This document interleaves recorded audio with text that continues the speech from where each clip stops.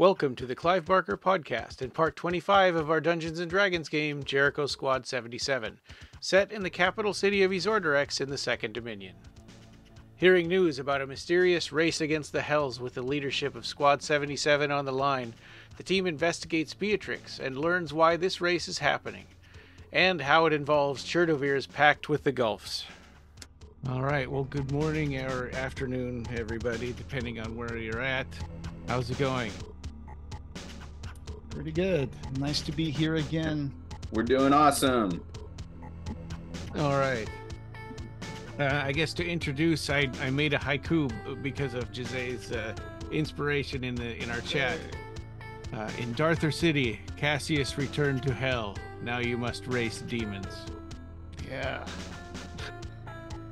So after returning to Darthur City uh, to claim Cassius's body, the squad learned about a foot race against the Gulfs. With the leadership of Jericho on the line, Squad 77 opted to head to Beatrix Inn one day early to investigate where the race will take place. And that's kind of where we're at. After the destruction of Midian, after the unraveling of the fugue, after the fall of the Unbeheld and the reconciliation of the five dominions, the Jericho organization has expanded and spread itself thin, guarding the breaches and investigating anything that comes through. This Dungeons and Dragons game is the story of one of those teams. Let's begin.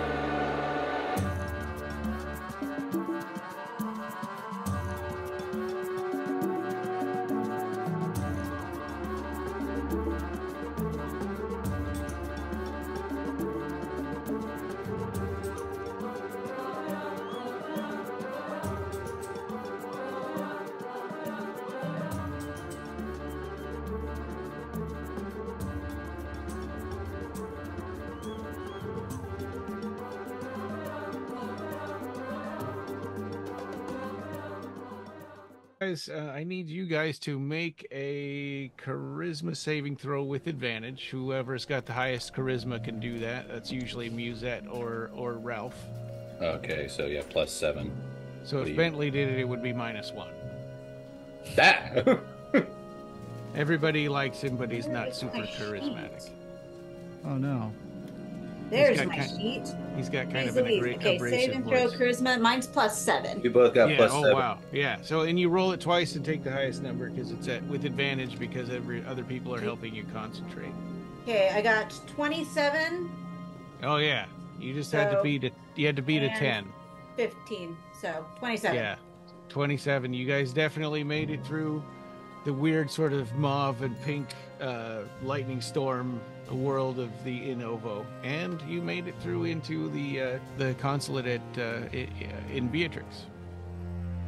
Eh, Yeah. Uh, so Coaxial Tasco is there to to meet you. If I hook him into my TV, will I get signal? Yeah, that's where the name comes from.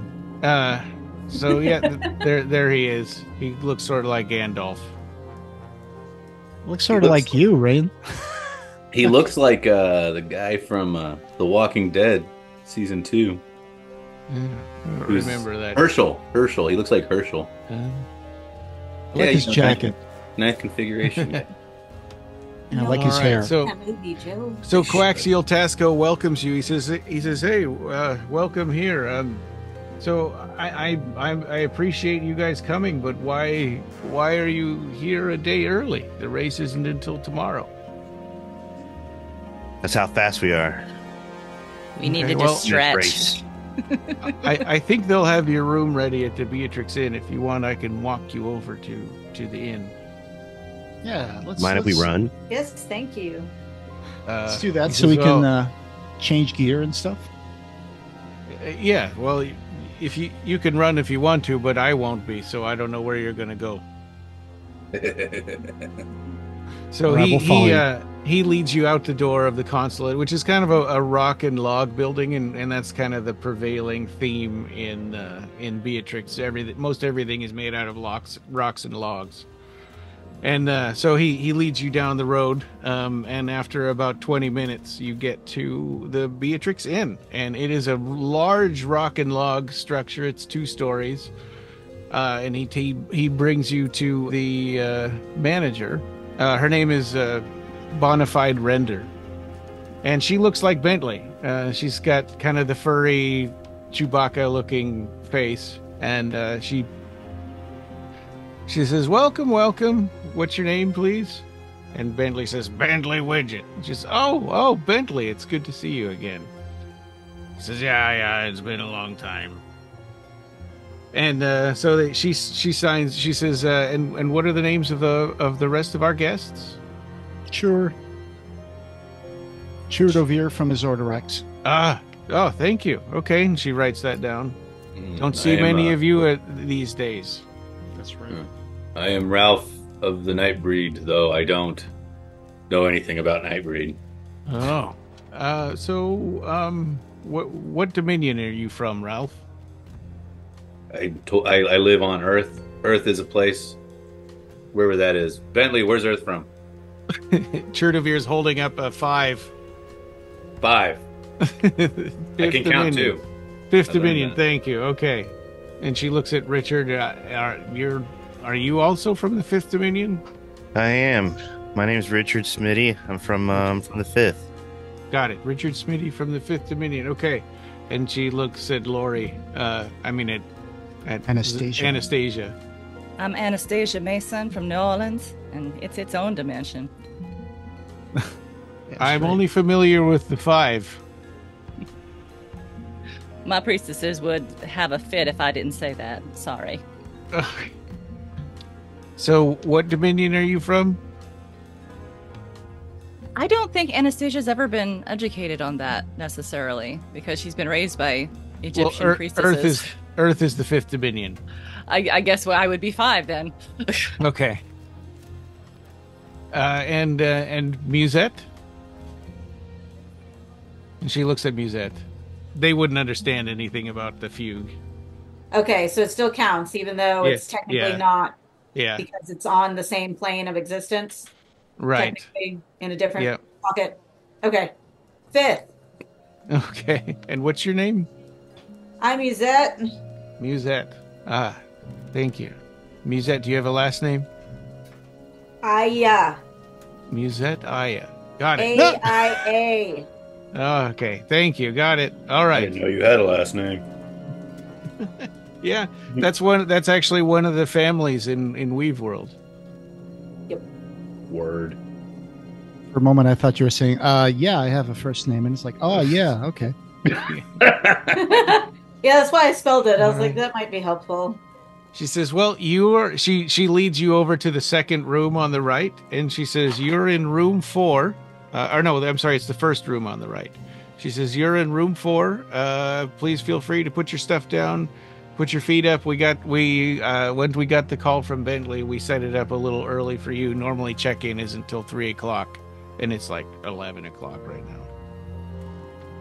Thank you so much for your hospitality. No problem. If you need me, I'll be in. Uh, I'll be in one of the rooms. I'm in room nine upstairs. We don't really have an office here, but you, you just knock on my door if you need anything. All right, thank you. Okay. So you're in uh, room four, and there are six rooms on the main floor, and then another six upstairs. Are we all in the same room? Yes. Got to be a big room. Yeah, it's pretty big. It's got only got four beds though, so you guys are gonna have to figure out who has to sleep on the floor. Ralph's sleeping on the floor. Bentley says, I actually have a family home here. I don't need to stay in this, so you don't need to worry about me. And I stay at your place, Bentley? Uh, no. Okay. I tried. All right. Well, I'll take a couch, and I'll put my stuff down and start uh, putting my, uh, um, picking what gear I'm gonna go with, and uh, wondering you know, I, I, I don't think I've ever been to Beatrix, so I don't know exactly where to start uh, investigating. But I think we should probably think about where are we going to go. So, where do you guys want to? What do you guys Ralph want? throws his uh, coat on the floor in the corner, goes in a walks in a circle on it, and then curls up in a ball till you decide what you want to do. Uh, what time is it now, Bentley? 11. Yeah, it's about Okay. 11 o'clock. Yeah, they let us check in a little early. Normally, they don't let them check in until three. Yeah. So we're here early. I think we should use this time to our advantage to kind of maybe gather some supplies or stake out the entire situation, find out where these folks uh, that we're supposed to be killing in this race, find out where they're making their entry from. Kind of, you know, sounds like fact a good idea. Maybe I should go to room nine and talk to uh, Bonafide and see where, if she can give us directions on where the, the whole race is going to be. And uh, what do you guys think? We probably should see if there's a map of the course because the course itself may be treacherous besides Yeah. the enemies. Right. I think we're starting from the foot of the mountain and we're going, we're coming back down to Beatrix. I guess this is where the finish line is going to be. So, yeah, let me go up and uh, see if I can knock on her door and see if she can give us information about that. I would Okay. like to go get lunch if anyone wants to go with me, and then kind of maybe listen in on people's gossip, whatever's going on there. All right. Sure. I'll go upstairs and you guys can go do that. I'm going to see if I can I'll talk roll into to, town too. to Bonafide and see what I can find about the uh, the map and where we're going to go. So I guess I'm going to go upstairs. Well, Okay. Make sure make sure you bring something back that's juicy, whether it's food or gossip. Okay. So I'm going to knock on the door for Bonafide. Hey, Bonafide, are you there? Uh, yeah, she opens the door. Hello. Yellow. I'll be like, Ah, hey, what, so- what can I do for you, Churdovir? Yes, thank you. So I was wondering, uh, we're here to participate in that race. Uh, that's going to be from the foot of Mount Chocolailau. Mm-hmm. So I'd like to know more information about what's going to be the, um, how do we get there, uh, Oh, yeah. who's organizing it, and whatever you can give me about that. I, I figured as much. Everyone that's staying here today is is going, going to be in the race. There's Okay. something weird going on with the with uh, number six.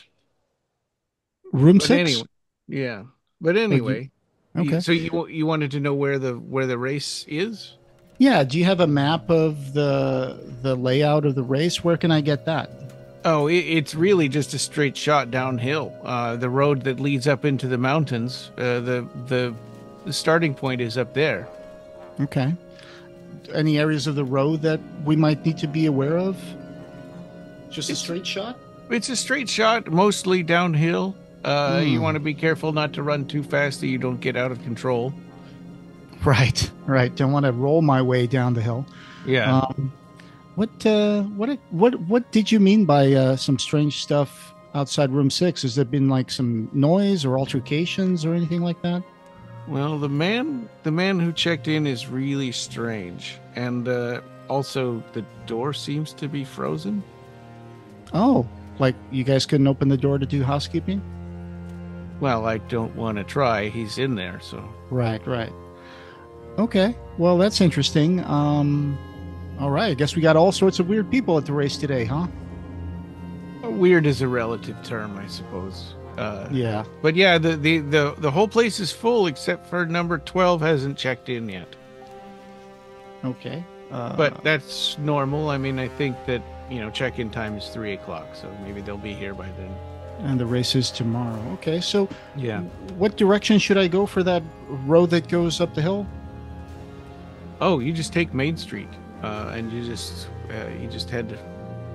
head Gotcha. to Main Street and go up up the hill. Okay, northwest. Gotcha. All right. Well, thank you very much. I'll go tell my friends and um and we'll get ready. Thank you. No problem. Closing the door. Go downstairs. Yeah, as as you head back to your room, uh, you see someone you recognize standing outside of your door. Uh, Riley Masters. She was the investigator. She she's um, one of the she's the represents the Fifth Dominion in Jericho. Oh yeah. Yeah. Um, okay. So I'll be like, uh, hi, Riley. Are you here as well? Are you participating in the race today? I haven't decided yet. I'm I'm registered, but I may I may or may not run the race. I wanted to talk with you about it. Uh, Oh. do, do you have a minute, or is your group here all together? We are. Uh, we're in the room. Do you want to talk to all of us? Uh, it wouldn't hurt, but all you know, if if uh, why are some of you said you, but you're all here. That's right. So what? What's the situation? Yeah, can I can I come in and talk to all of you in private? Of course. Open the door. Go in the. Hey guys, uh, Riley Masters. Remember that from Yzordderrex. All right. Huh? we're all- Hi. Hey, Hey, Riley. uh, just wanted to kind of run by some things. I know this was this race thing was sort of sprung on you last minute, and uh, and I wanted to make sure. No offense to Bentley, but I wanted to make sure that you got all the information about you know what this is and why. Right. Um, so there's a history to this race. Uh, it's normally run every 100 years. And we're not due for another one for 60 more years. Uh, it's been 40 years since the last one. But uh, they disca- decided, the Gulfs decided to make a special case for this because there's some question about the leadership of your particular squad and these people from these creatures from the gulfs believe that they would do a better job leading your squad against the threat to all of the planes which is this Hapexamendios. Heart. Why they got to tread on us? They don't know us. They think they do. Well, Why can't they just help us instead of like just trying to replace us? sounds like they want to boss us around. They I think they I'll really create do their want own to boss you around. Hmm. So no. Or replace you. I'm not sure. I don't Why- know what, the, what they're going to do. why are we letting the Gulfs decide the leadership of squads of the squad? I mean, what do they have to do with us? Place us. We're here on our own free will. Where will. Gauss is from. I read through their contract and it was put together by someone named Butterfield. I read Okay. the I read the original contract uh, fr- from hundreds of years ago, and it seems to me there is a some kind of an emergency clause in case there was some kind of a threat to the Gulfs, and the um, and people on Earth were in Okay. charge of of trying to take care of it. So I thought our primary responsibility was to protect Earth from the Gulfs. And so you want to put the Gulfs in charge of Jericho's squad? I absolutely squad? don't. I don't. I'm not at all. That's why you're Right. here. Okay, okay. There, there's so- also there's also something about your Churdovir, your um, this this uh, creature that you made a pact with. Mhm. There's Yep. something about that that's particular. I mean, just from speaking really briefly to uh, this Butterfield, there's something about that, some kind of uh, rivalry, or I'm not exactly sure what it is. Rivalry with who? Uh, I think between Butterfield and the creature that you're pacted with. Oh, okay. And so this Butterfield, uh, what do we know about him? Uh, he's from the Gulfs. I don't. I. He's really old. I don't know anything else other than that. So he was there when Jericho Squad was created. He was already representing the Gulfs on that. Yes. Yeah. Definitely. Oh. Okay, so he's pretty old, huh? Looks like he's pretty influential. And so, from what I understand, you're saying that it's important for our squad to have the right leadership, according to the Gulfs, to stop the threat that's coming. Yes. They. Okay.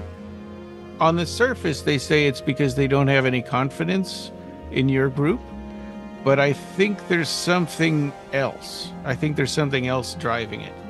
Uh, something probably more political or more petty. I know that uh, I've I've gotten into a lot of hot water because of the the pact that I did with the Gulfs, but Hmm. it was a pact that was, you know, we were in a tight situation, so we didn't really have much of a choice uh, to get out of that situation that we were in in Africa in the Fifth Dominion. So I remember. I, I tried as much as I could to not have to deal with them too much and get whatever promises I did out of the way. So I think we were I was able to do that. Um, as you can see, I paid a little bit of a price for that because I got antenna now. Yeah. Uh, but uh, I want to assure you that I'm here to protect Earth from whatever wants to harm it. And questions later. yeah, if if the Gulfs. So, is this going to be a race to find out which one of us should should should lead the uh, Jericho squad? I think if one of you wins, you can do with that whatever you want. Uh, but I think the important thing is that one of their faction doesn't win the race. Okay, so here's something interesting that I heard from the innkeeper. She said that there's something wrong with room number six. That there's oh my, someone. yeah, holy crap! You should go check that out. I mean, I don't know if I'd want to go in there, but uh, I that's I think that's probably Butterfield's room. Oh, well, that that would explain some things. Let's see if we can find out more without having to actually uh, uh, disturb him or or let him know that we're that we're doing that. So let me gather up with the rest of the people here and see what's the best way we could do. Do we have anybody here who can find out what's going on inside his room? Um, I don't think we have anybody who can. Who How has the cloak of invisibility? How about instead of doing anything like that, how about we just walk straight up to him and ask him, "Hey, what's up? Let's just do this professionally versus trying to do it like, uh, you know, with spy tactics and stuff." Because if if he has any sort of magic himself, which he's from the Gulfs and he's Butterfield and he's super old and his door's frozen, from what you told us, then. Uh, yeah, he might have some sort of anti spy magic going on in his own room, and then that could alert him to us trying to spy on him. I don't want any bad feelings leading up to this confrontation. Also, he might just be completely insecure and think of anything that we do as an offense. So The there's innkeeper- that. The innkeeper did mention that it seemed like his door was kind of frozen, so there might be some magic at work there as well. Uh, but we can just, yeah, I guess if he's that much into the whole situation that we're dealing with, maybe we should try to talk to him and see if he has any insight for us. Just ask Go him get why. him, Churdovir. You go knock on that door. All right. Well, Matt, can you come with me can you bring some guns? Is it wise to send probably Churdovir? one of our sorry, Churdovir, one of our least Well, um Yeah, I guess. Persuasive. Oh yeah. yeah, I'm- let's go with that. Persuasive. Yeah. How about you?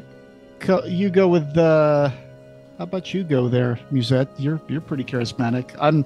I kind of trip over my own words, and I guess I'm not that good at uh, talking to people I've never talked before.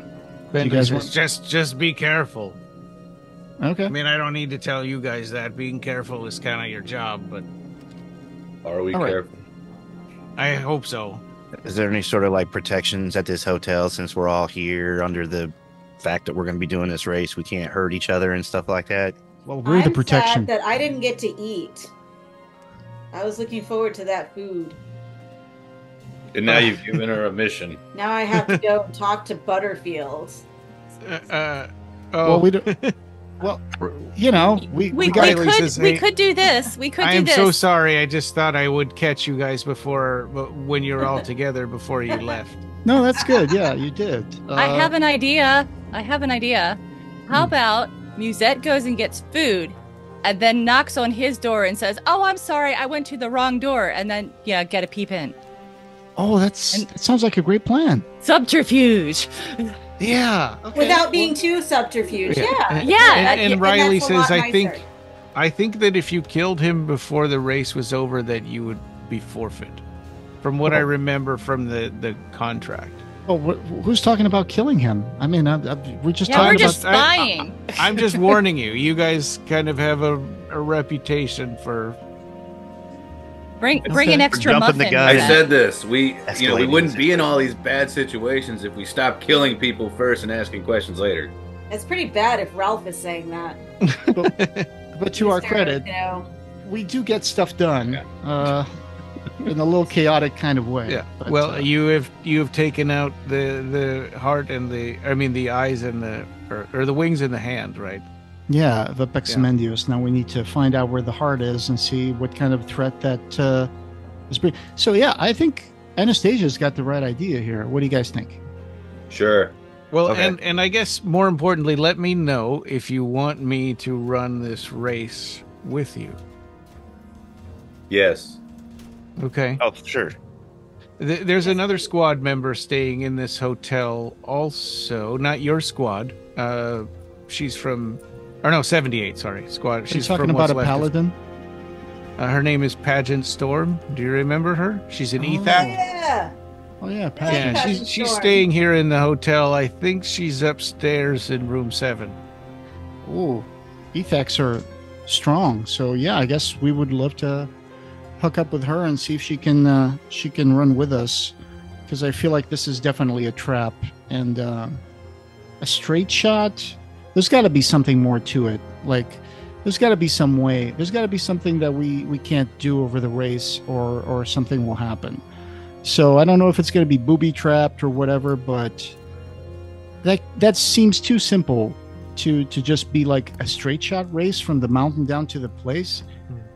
There's got to be something said- more. Bentley kind of speaks up and he says, "Well, I can tell you that uh, this race actually happens every year. I mean, at least the the Beatrix, you know, charity race happens every year. Um, you know, it doesn't. It's not full of demons all the time, but uh, it's a pretty normal race, and it's uh, you know, it's not very dangerous on its own. I mean, I can't speak for all these Gulf guys and what they're gonna do and." Maybe they're setting traps i have no idea but but uh, i can tell you that the race itself is pretty legit So you do this every year, but then every hundred years, it's a special race. Is that what you're saying? uh not here i think that uh, i think she i think she's riley i think you're talking about some somewhere else right she says yeah yeah that's um the, that that was in london in 1984 Oh, I see. Okay, okay, interesting. All right, so yeah, but there's definitely going to be something in this race that either either there's going to be like that Butterfield faction that's going to try to trip us or trap us. So yeah, I'm not sure if Butterfield is going to be a reliable source, even if we do talk to him. But yeah, let's let's see what he's got to say. I mean, he's kind of the guy who wants to set this up, and and he's kind of the guy who has an issue with us. So let's go ahead and talk to him and see what he says. okay Okay, Right. I think probably um, Richard and I should go. Maybe Anastasia. Is it because I'm ugly? Yes. Actually, he yeah he because he's got the highest uh, besides Musette. He's got the highest charisma out of all the the whole group. Wait. Okay, so you're saying that I should just bring Ralph? Uh, I I'm not making any suggestions. I'm good. I don't know, Ralph. It sounds like you need to come with me. Okay, let's go. Okay, so who else is coming? Just Ralph and me? And and Richard. The, Richard's Just muted. saying bye. Oh, okay. All I thought was the wave. All right. okay. Um, so then I guess Ralph and I will go and check in on what's he in room seven? Six. Six, five, four, three, two, one. Go. Six. Okay, so you you, you go and uh, knock on the door. Uh, so so the first thing you see it notice about room six, the door is frozen over. It's really cold. Even just touching it, it kind of is rough. But you knock on the door. He says, "Yes, yes," uh, and the the door kind of swings open by itself, and you see him sitting there. Sort of, uh, Butterfield is sitting there. He's wearing a suit. He's kind of got blonde hair. Uh, and he's sitting there really comfortably, even though the whole room is frozen over like the door. Okay, well, we'll be outside the door. Hi. Um, I just wanted to come and introduce. We just wanted to come and introduce ourselves. We're from uh, Squad 77. I'm Musette, and this is Ralph. I think your AC's broken. Oh, it's quite quite, quite comfortable. Uh, it's nice to meet you in person. I've heard lots and lots of things about you. What kind of things? Oh, uh, well, I think your leadership is in doubt. Uh, Oh, you've got to. You're being led by Gaustus, okay. and What else? Gaustus is a pretender. Gaustus wants to take away my power. Oh, why? Do you really want to get into all of that? I mean, it's just. It's Well, we can have it later over some chicken. Gulf's politics, you know. Oh, But it's good to meet you. So you're Ralph and Musette. Um, well, yeah, we just came to uh, to say hi and introduce ourselves. We let everyone else stay in the stay in the room because it was it was quite a journey through the In Ovo. Um, Hmm. I'm uh, thank you for telling us that uh, apparently we're being led by Gaustus because that's the first I'm hearing of it. You, also, You- I you wanted to don't make sure know you your AC wasn't working. you don't know who your leader is? Yeah, we do. Yeah, we do. Oh no, I've set the climate to to my specifications. It's it's uh, very comfortable. Did you speak to the building manager before that? I don't want you to get in trouble. he just said he's comfortable. Okay. Um, so Sorry. So back to Gaustus. yes, Uh, no, I mean we've been checking in with um, with the other squads. Uh, I mean we I haven't spoken to Gaustus. The last time that I remember him being involved in any part or portion was when we were in Africa.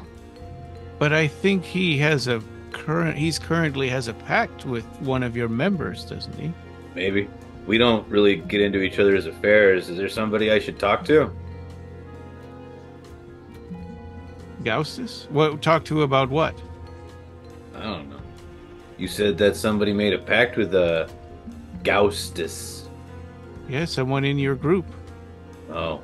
I am aware of the pact, but I don't believe that the pact itself uh, influences any decisions. I feel that all all of us uh, in our team, we make decisions together as a group. Like we don't have anyone who's an elected like leader. That's interesting. That's We're a very- democracy. Right. It sounds, then it sounds to me like usual. Gaustus is a terrible leader and needs to be replaced. I think uh, I think that this race was uh, was well founded.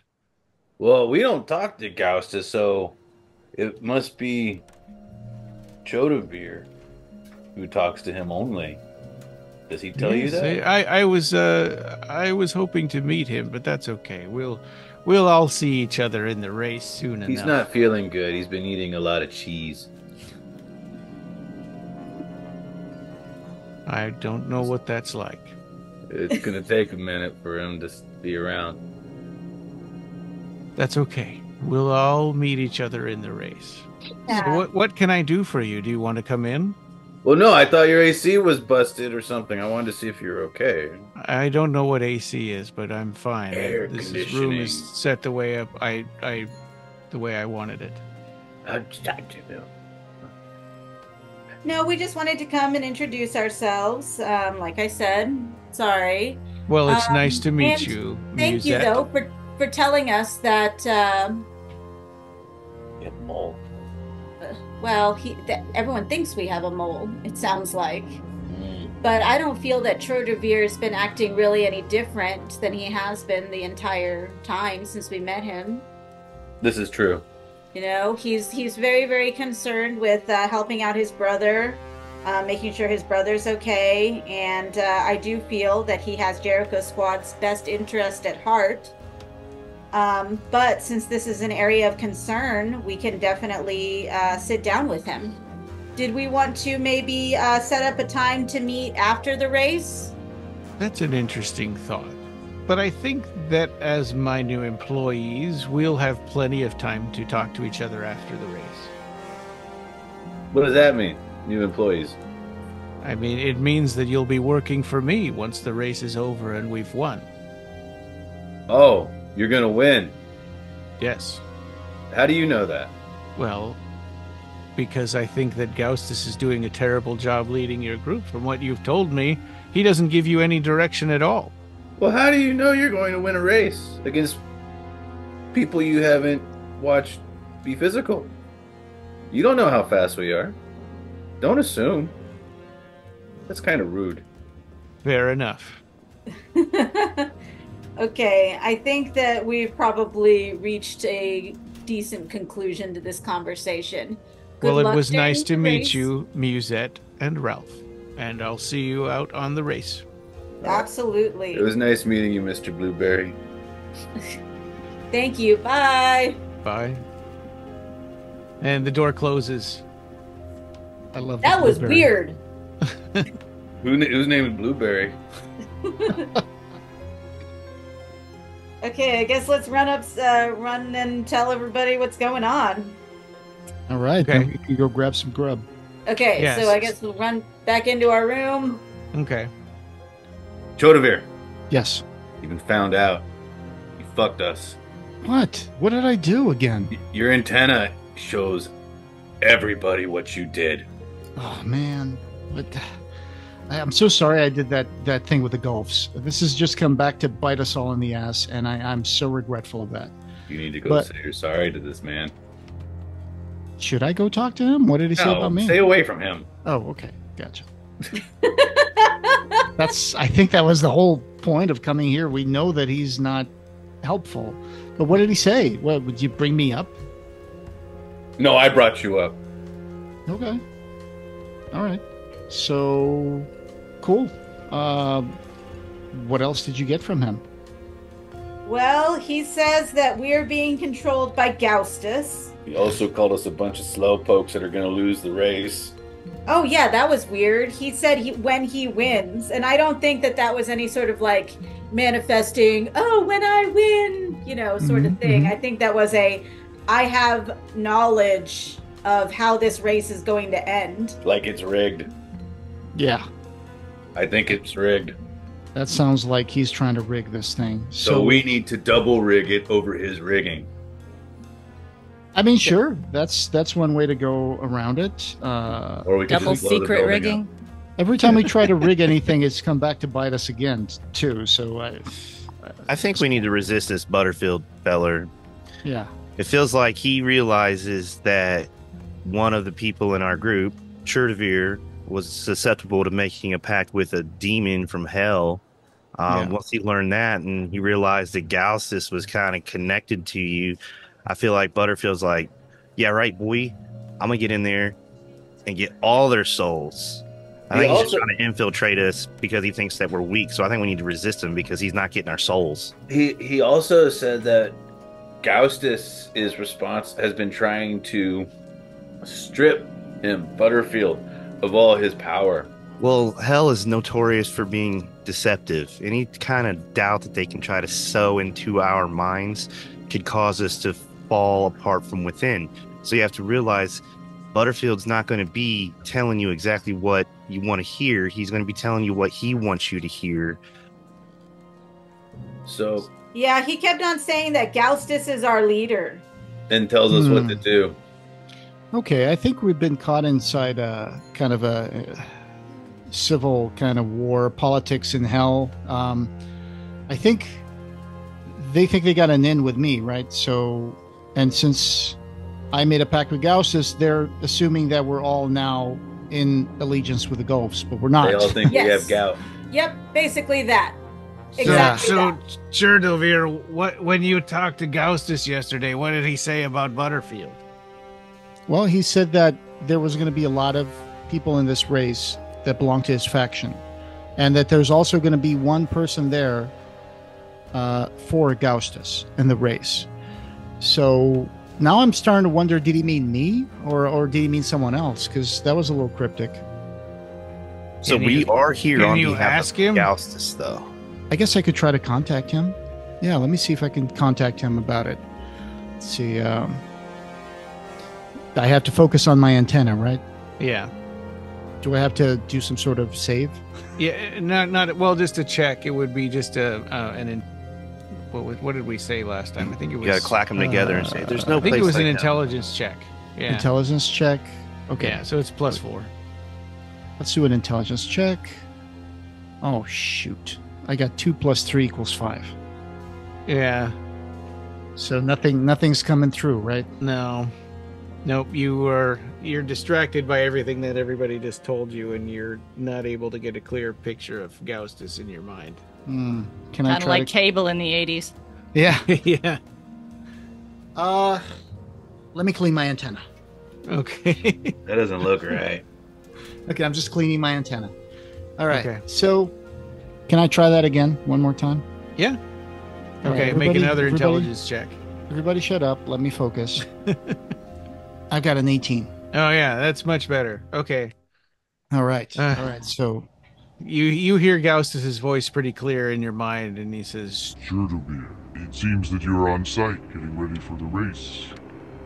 yes, but uh, I want to make it clear that the reason why we're here is we're we're trying to discover more about what happened to all those people in Durthor City. I'm not here to do your bidding, but I I wanted to say that there's a Butterfield here. Do you know him? Did you speak to Butterfield? I have not, but I believe that some of my uh, team members have met with him, uh, and we're in the same inn. So he was standing. Did your team members make any kind of pact with him? I don't think so. Did you guys make any pact with him? No. No, obviously. I mean, with all due respect, we know better. He accused us of uh, working for you and that you're trying to take his power away. So it looks like we're caught in this kind of political hell thing. Why don't you come upstairs? Come to room 10 upstairs. Okay. You also said there was going to be someone in the race working for you. Are you talking about me or someone else? I'm going to go upstairs. "Okay." I'll see you up there. And he kind of disconnects.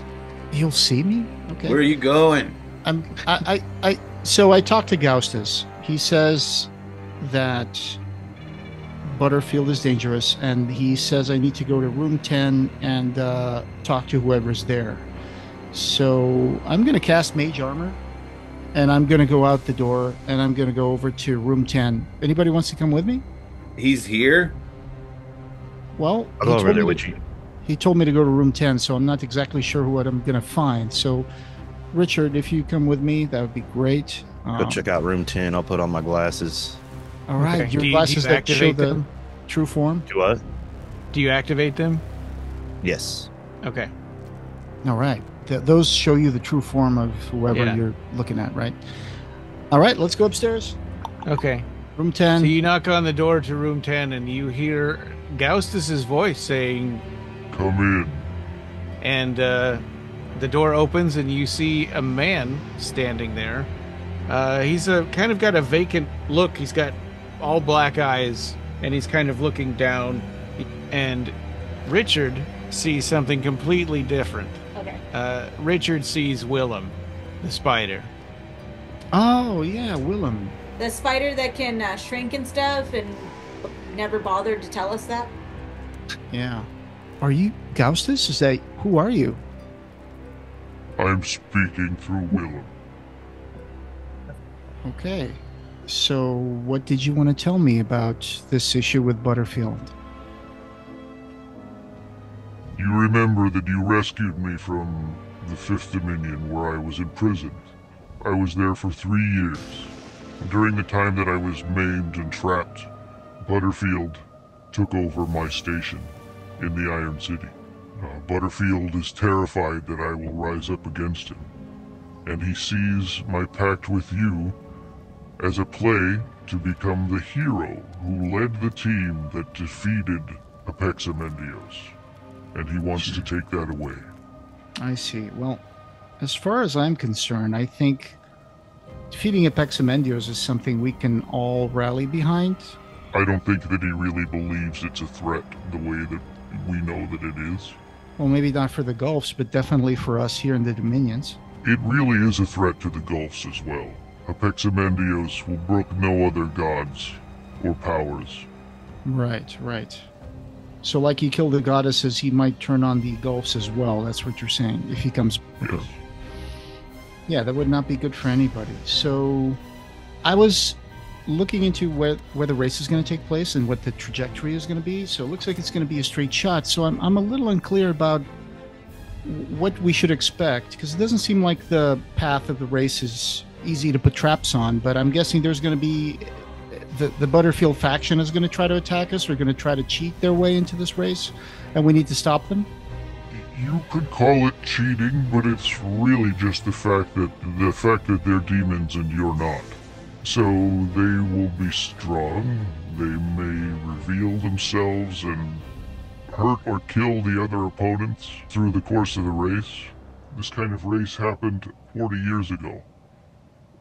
Do we have any insight on how they intend to take us out of the race? Can we expect physical attacks? Is there anything we need to do? Uh, is there anything we should avoid while doing the race with the demons? Should we stay away from them? Should we keep an eye on them? I think that they feel confident that that you, there's nothing you can do to them because they see you as as nothing. Well, that's not very But, fair. Uh, I know your capabilities. I've seen through your eyes what you can do, and I think that you can take them if you need to. If you can't outrun them, I think that you should destroy them. Okay. Well, I guess we've been through different situations before. We can't just be doing a race full of weapons, though, right, Richard? I think we should probably just go for with a a small contingent of uh, self-defense items. But we definitely need to have guns with us when we're racing. I would be as armed as you can be. I know it's difficult to run with armor and weapons, but I would be as prepared as you can be. I mean, I think that running, in a, in a sense, is sort of secondary in this race. Who is going to be your agent in the race? Willem. And he Oh, he's points gonna at be himself. Okay. Well, right, right. Yeah. The spider guy? You're That talking to the doesn't huge seem fair. now. He's got eight legs. Eight legs, right? Yeah, eight legs are better than two. Yeah. All right. Well, I think.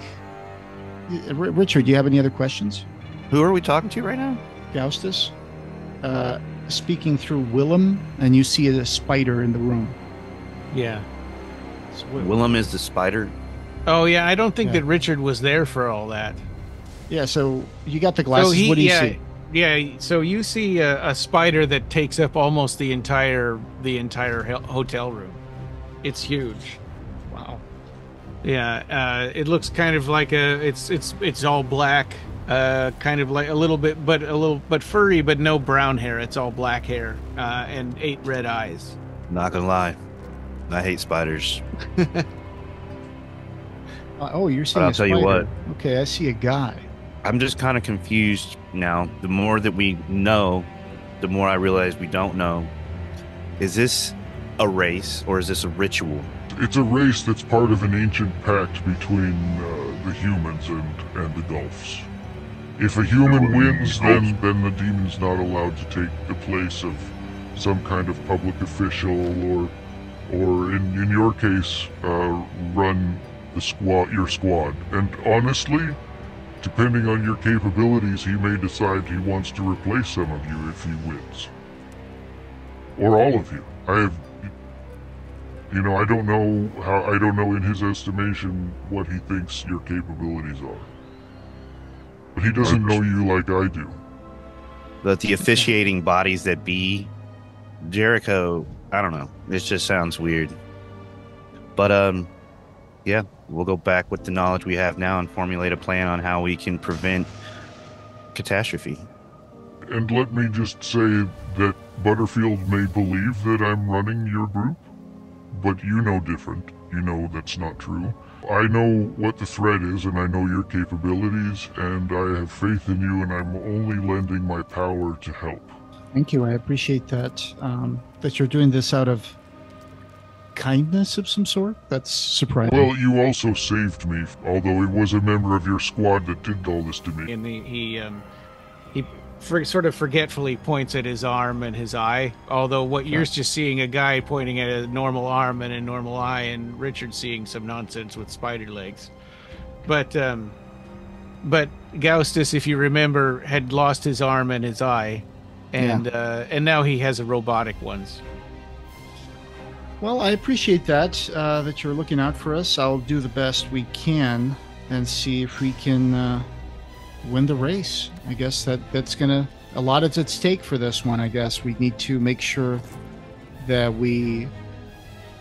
Uh, do we know how many? Uh, do we know how many of the other players uh, or runners are going to be? Um, I believe there are a lot. Oh, okay. It's not good. Okay, I guess we all got to run and we all got to bring guns. And there will be also people who have no idea. There will be racers from wherever this place is. Innocent bystanders, huh? Yes, Just thinking they're doing a charity race. exactly. So we not only have to defend ourselves, we had to protect the other people as well. Well, that's that's a good opportunity to show what Jericho Squad can do, I guess. All right.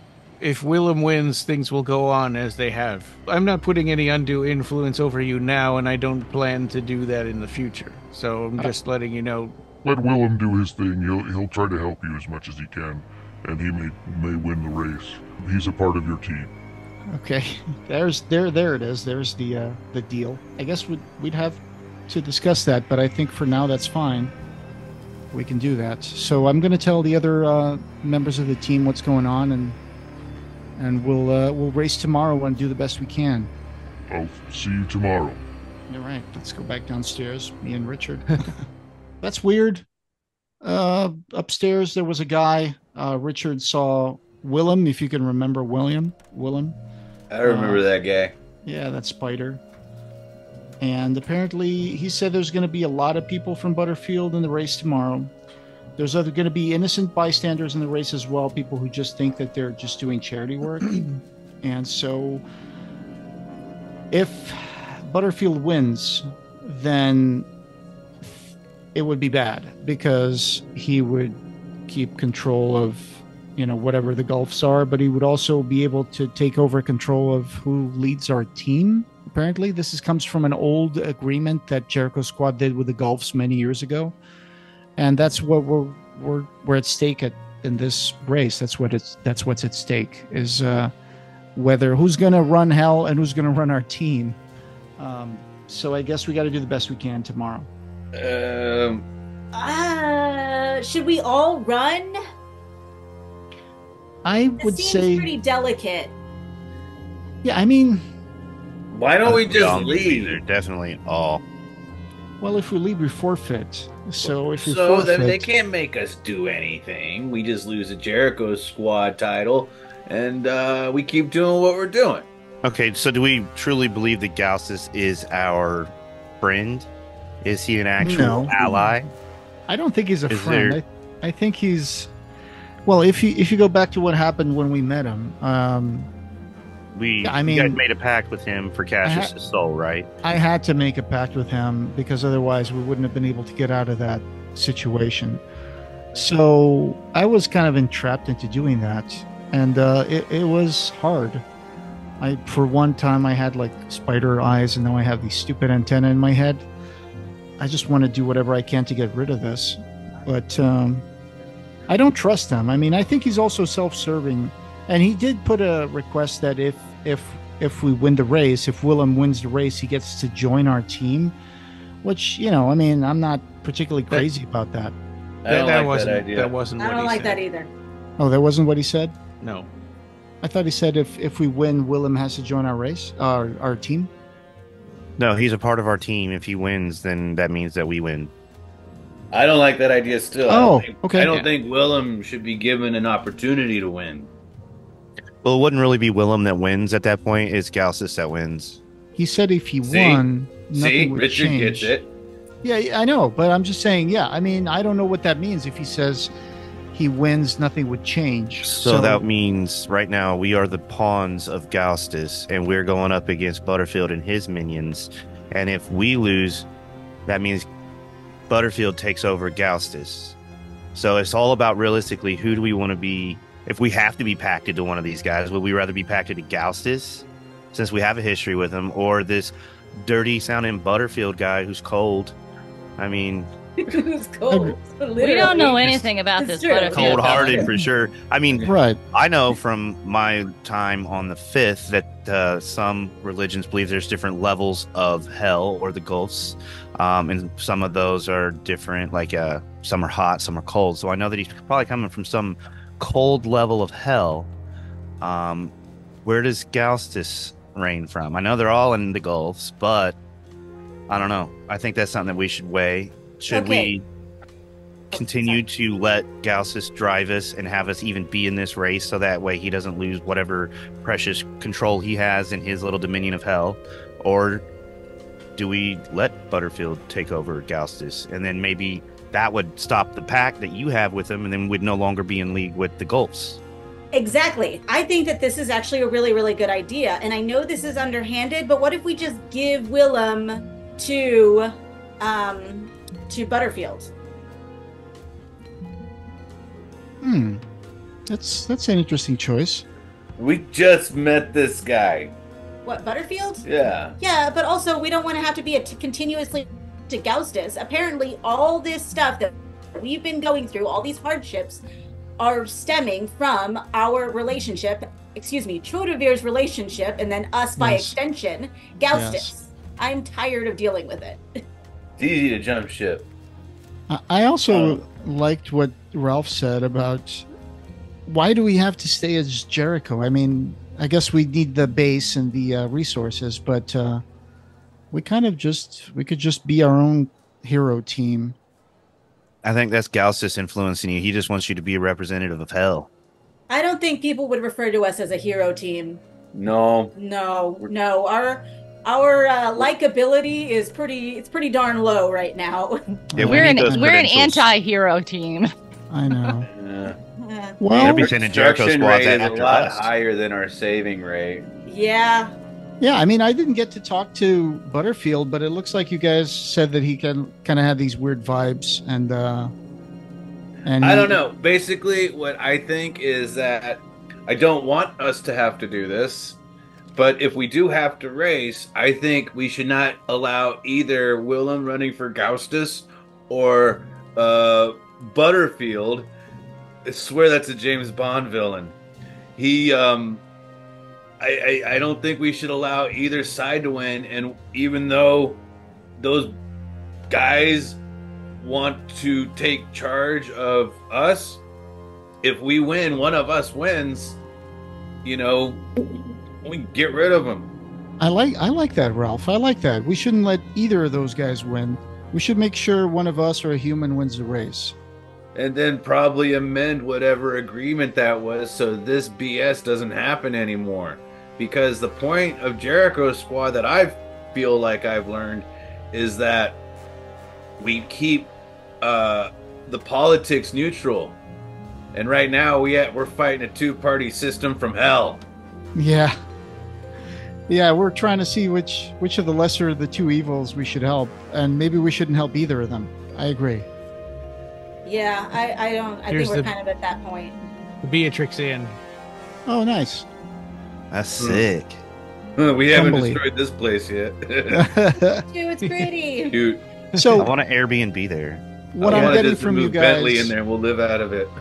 what I'm getting from you guys, and I want to hear from Anastasia too, is like we should just run on this race for ourselves and to to help humanity or to help Jericho, and try to avoid any of the Gulfs getting any sort of uh, leverage by winning this race. Churdovir has gained the power of self-respect. Hey. Oh, de- Well, well, definitely. we- We, we we shouldn't. I mean, on, honestly, it's never a good idea to submit yourself to like anybody that's demonic. So it's, I I honestly don't want to be underneath yeah. either one or beholden Ralph to either has one. also been pacted to Baphomet since the start of the game. Yeah, but he ain't getting in our business. Okay, Yeah. so s- let's let's think about this though. The ultimate goal, I guess, would be to stop Hapexamendios. Um, and so we would need the help of all of these different religious entities, even if we don't agree with them. So uh, hell is a real place, the Gulfs. As long as we can allow them to continue to help us fight against Hapexamendios, um, I think that would still you know, be good to be in league with them because they are a reckoning force. I don't know. I feel like defending them is just defending all religion at that point, whereas Hapexamendios is the re- end of all everybody's unique religions.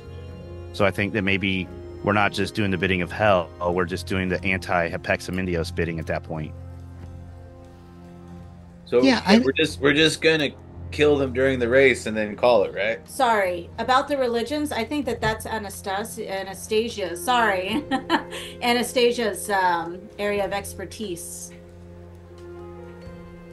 Like I said, I don't want to be beholden to anybody. So, and besides, they're going to try to kill us. So, Same regardless, I agree. So, True. what do we know about Butterfield's connection to? He thinks that Hapexamendios' heart is a threat, right, to his control of the Iron City, and uh, so he thinks it's not. But Gauss has said he believes that it is a danger to the Gulfs because Hapexamendios doesn't take any gods before him, so any other powers. So if Hapexamendios did come back, this would be a problem for the Gulfs as well as everybody else. So I understand where Richard's coming from.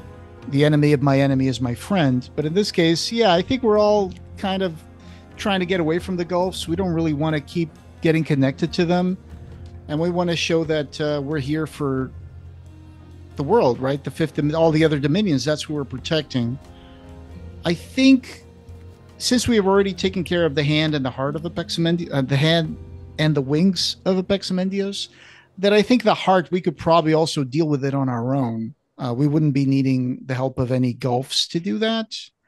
I'm just saying. So I guess that's a gamble that we take if we decide to just do this for ourselves and make sure that neither of the gulfs powers win the race because I think that is important, right?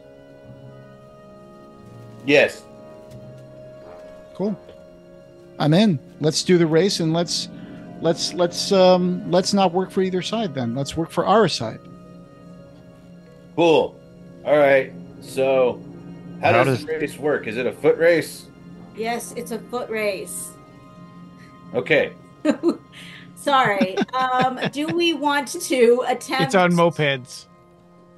Real quick, sorry, real little quick. Vespus. What happens to Gaustus if Butterfield wins? Not, I know that we'll probably get screwed over if Butterfield wins, but what happens to Gaustus? Does he get turned into a lesser demon? he didn't say anything about that, but I, I guess that he would be concerned about.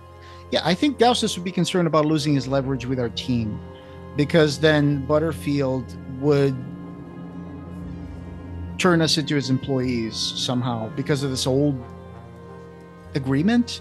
Butterfield used that exact term when he said he would win. Yeah, He Oh called. yeah, when we went to introduce ourselves. He called. He said we'd be his employees. huh. So yeah, I guess that's what he's thinking about. So if he wins, he would take us over for due to some old me, old agreement with the Jericho Squad leadership. This just seems really weird. The more I think about it, uh, but uh, okay. So yeah, we we can't help anybody. We have to do this for ourselves to keep our independence and not stay beholden to any other hellish powers. I guess. Bentley kind of chimes in and says, Did they say an agreement with Jericho? I don't remember that. Wasn't what what did Bonafide? No, not Bonafide. But what did uh, Riley say? I thought you said that this was. No, race- no. She she said it was an years ago in agreement with with uh, with humans. Oh, an agreement with humans, not Jericho. I see. Okay. Yeah, yeah, yeah. I thought I got the idea that this was with Jericho, because No, I think Jericho's just stuck with it like everybody else. I see. Okay, so it's a us versus them in terms of the Dominions versus the Gulfs. Yeah, I mean originally probably just a fifth dominion, but now it looks like it's spreading out. And I think when Butterfield is saying that he would take over our team, he means he would take us as slaves. I guess. It doesn't sound good. Doesn't sound good, right? No. Okay, so yeah, I'm good for that. Let's let's prepare. I think we should be armed and ready in the race, just in case anybody tries to attack us. Because it's a straight shot, so I'm guessing they're going to try duplicity to um, to um, to hurt us. So once again, do sorry, I never had this uh, question answered. Do we all have to run? Or maybe it was answered last time. Should we keep someone Oh, yeah, it's gonna be outside? That's that's an interesting uh, uh, question. Should we keep someone out that way No they way. can? Okay. No way. I think if we do that, they could be singled out and killed separately. But I think we're going to end up having a big battle, and I think we need all of our resources combined. Yeah, Gaustus did say that Butterfield had a lot of people in the race. So, like If, Richard if said, he's got a lot of people in the race, we need everybody. that means he's probably got a lot of other people that won't be in the race. And if we're all racing, there's no one to defend us. Right. So then the question is, should we go get dinner? Since it's dinner time now, I guess.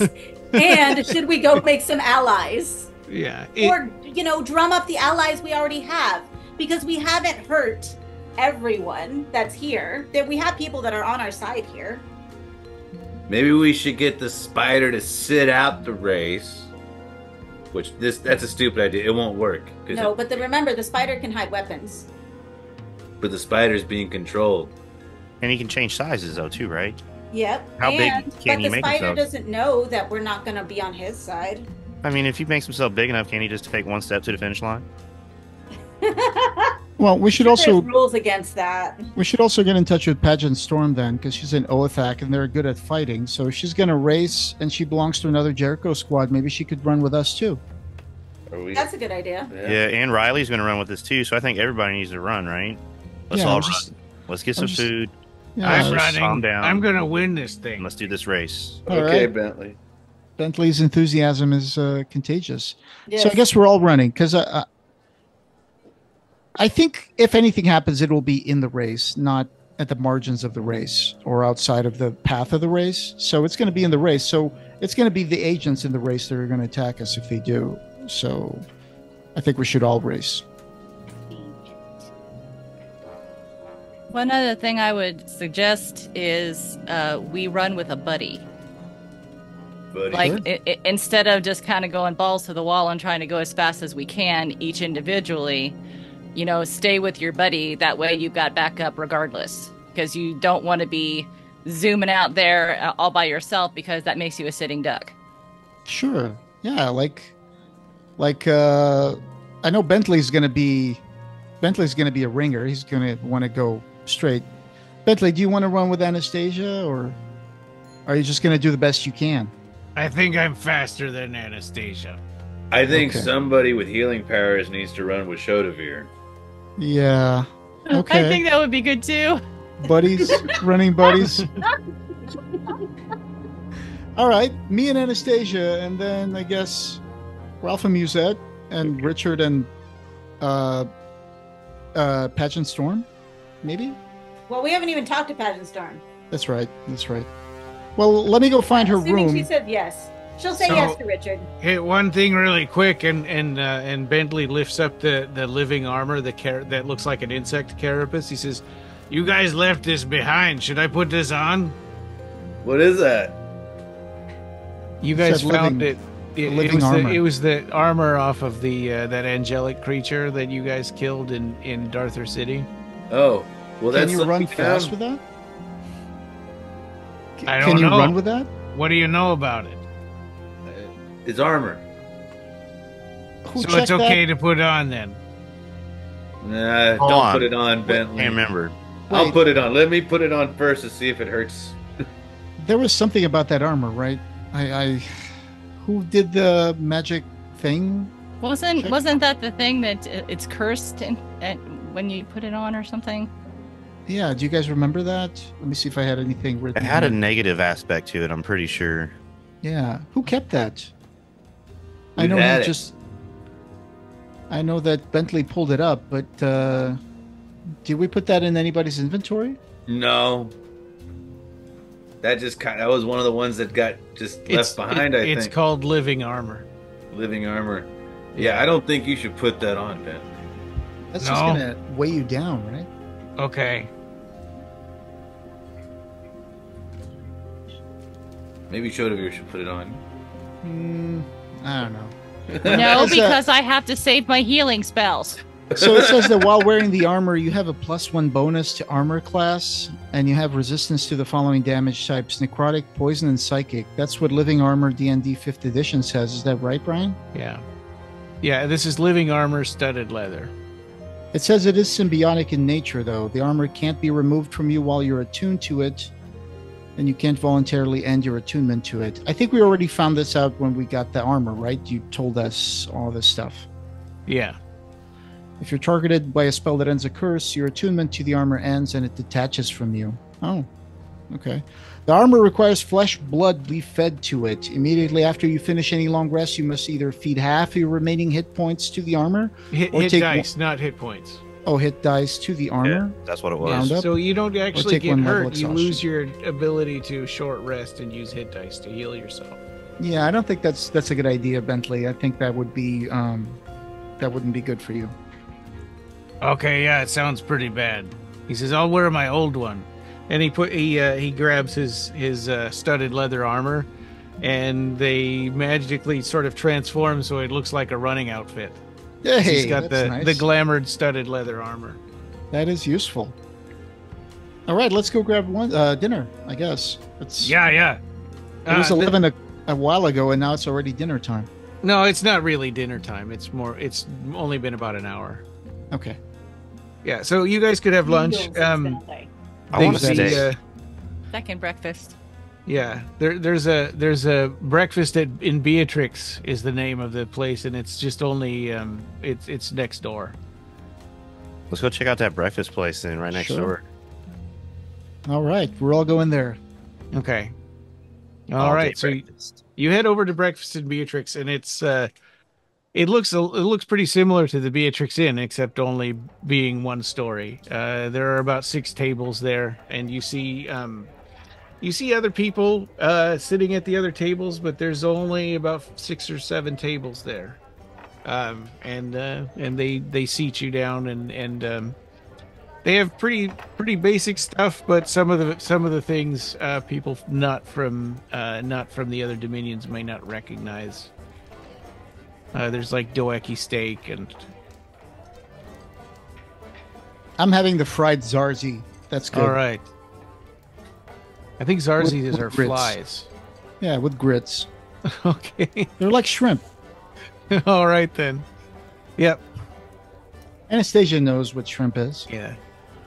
She's from NOLA. Yeah. Got that right make some gumbo out of it. You see one guy that's uh, two tables down who's who's um he's he's barefoot and he's taking a he's got huge calluses on his feet and he's taking a round file and filing grooves in the calluses in his feet. That's gross. Maybe that's the Parmesan cheese. Oh! oh. Uh, okay. Um, that's kind of gross. Excuse I'm gonna me, pretend. sir. Do you have to do that here in where everyone's eating? Don't talk to them. He says I'm gotta- I'm preparing for the race. I need traction.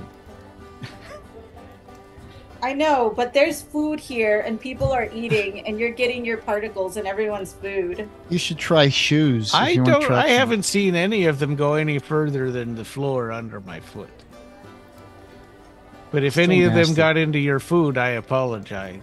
Wait a minute, your food hasn't even arrived yet. I'm anticipating for when my food shows up. All You- right, you I'll. I'll do the rest of this in my room. I'll see you out there on the race. And he kind of narrows his eyes at you. Now he's got to walk Oh. lopsided. But this is a shared public space. Just shamed him out of the restaurant. What? I'm with you. It's a shared public space. Mu- Common decency here. Musette's over here becoming uh, the Nightbreed version of Gordon Ramsay. Yeah. Yeah. You you also see Pageant Storm sitting at a table by herself. Badget, come and sit with us. She says, "Ah, yes. I saw I, s- I saw you uh, you telling off that man from Ephatoy. Good job. He was nasty. It was rude. I'm glad that somebody said something. So, pageant. Um, would you like to run with us tomorrow? I um, we've got some Well, I- information you might find uh, interesting. You know, I was signed up for this race before all of this business with the Gulfs and whatnot. Uh, I'm surprised. I just wanted to run a race. Yeah. Do you usually do you usually do this one every year? Yes. Oh, yeah. I, Well- I feel for these people in Beatrix. It's horrible what happened.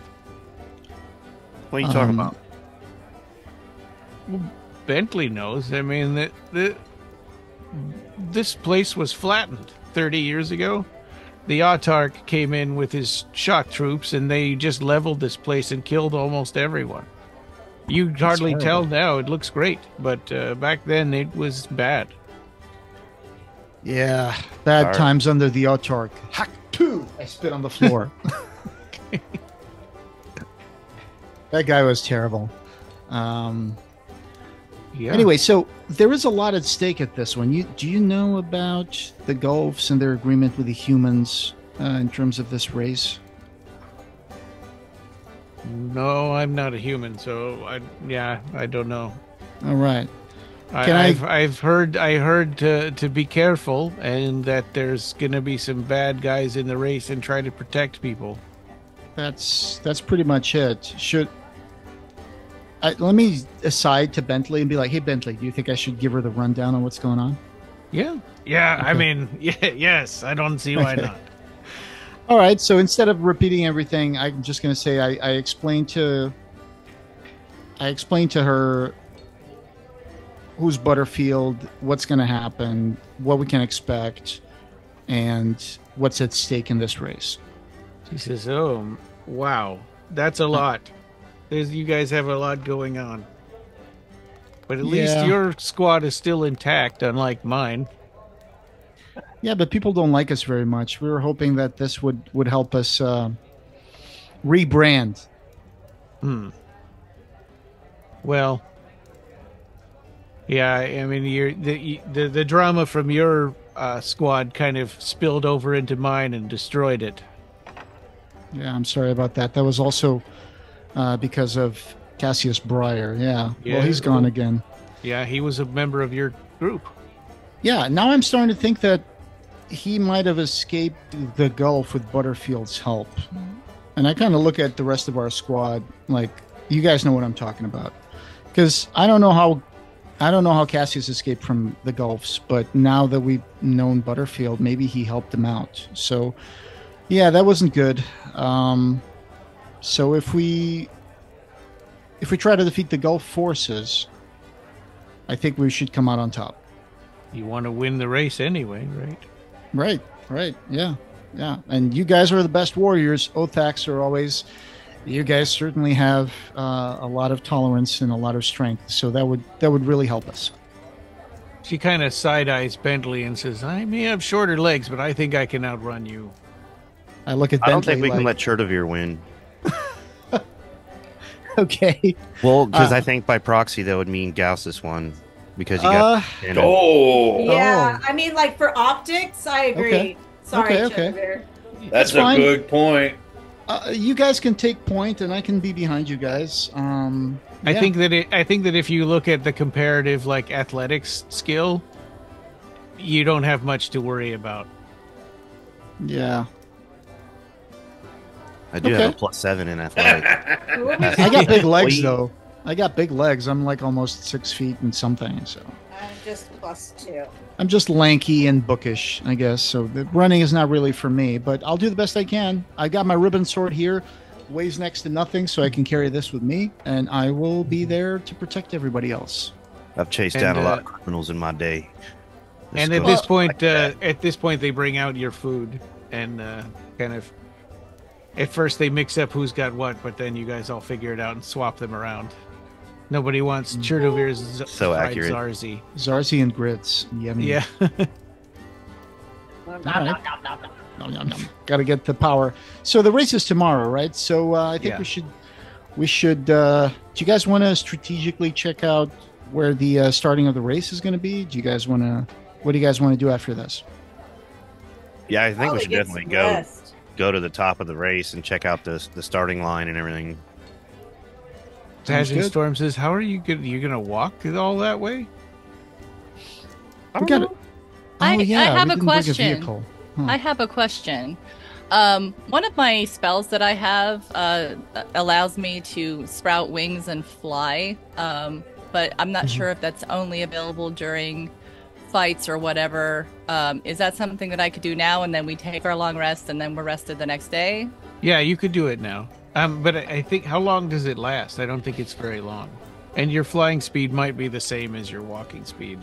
Radiant Soul. Once per long rest as an action, you can transform, gaining, gaining glimmering eyes and two incorporeal wings for one minute, or until Okay. you end it as a bonus action. Yeah. Um, would sorry, that be are it? You... No, I'm- sorry I, for interrupting. Go ahead. Um, so I mean, honestly, I don't think I would need to do that again, even if we got in a fight, because I'm kind of concentrating on making sure everybody doesn't die. So if we're using, if we're needing to physically, visually look at the course, and I mean, they're telling us it's a straight shot, but we haven't physically seen it yet. right. So I've Um, seen it. I've run this race before.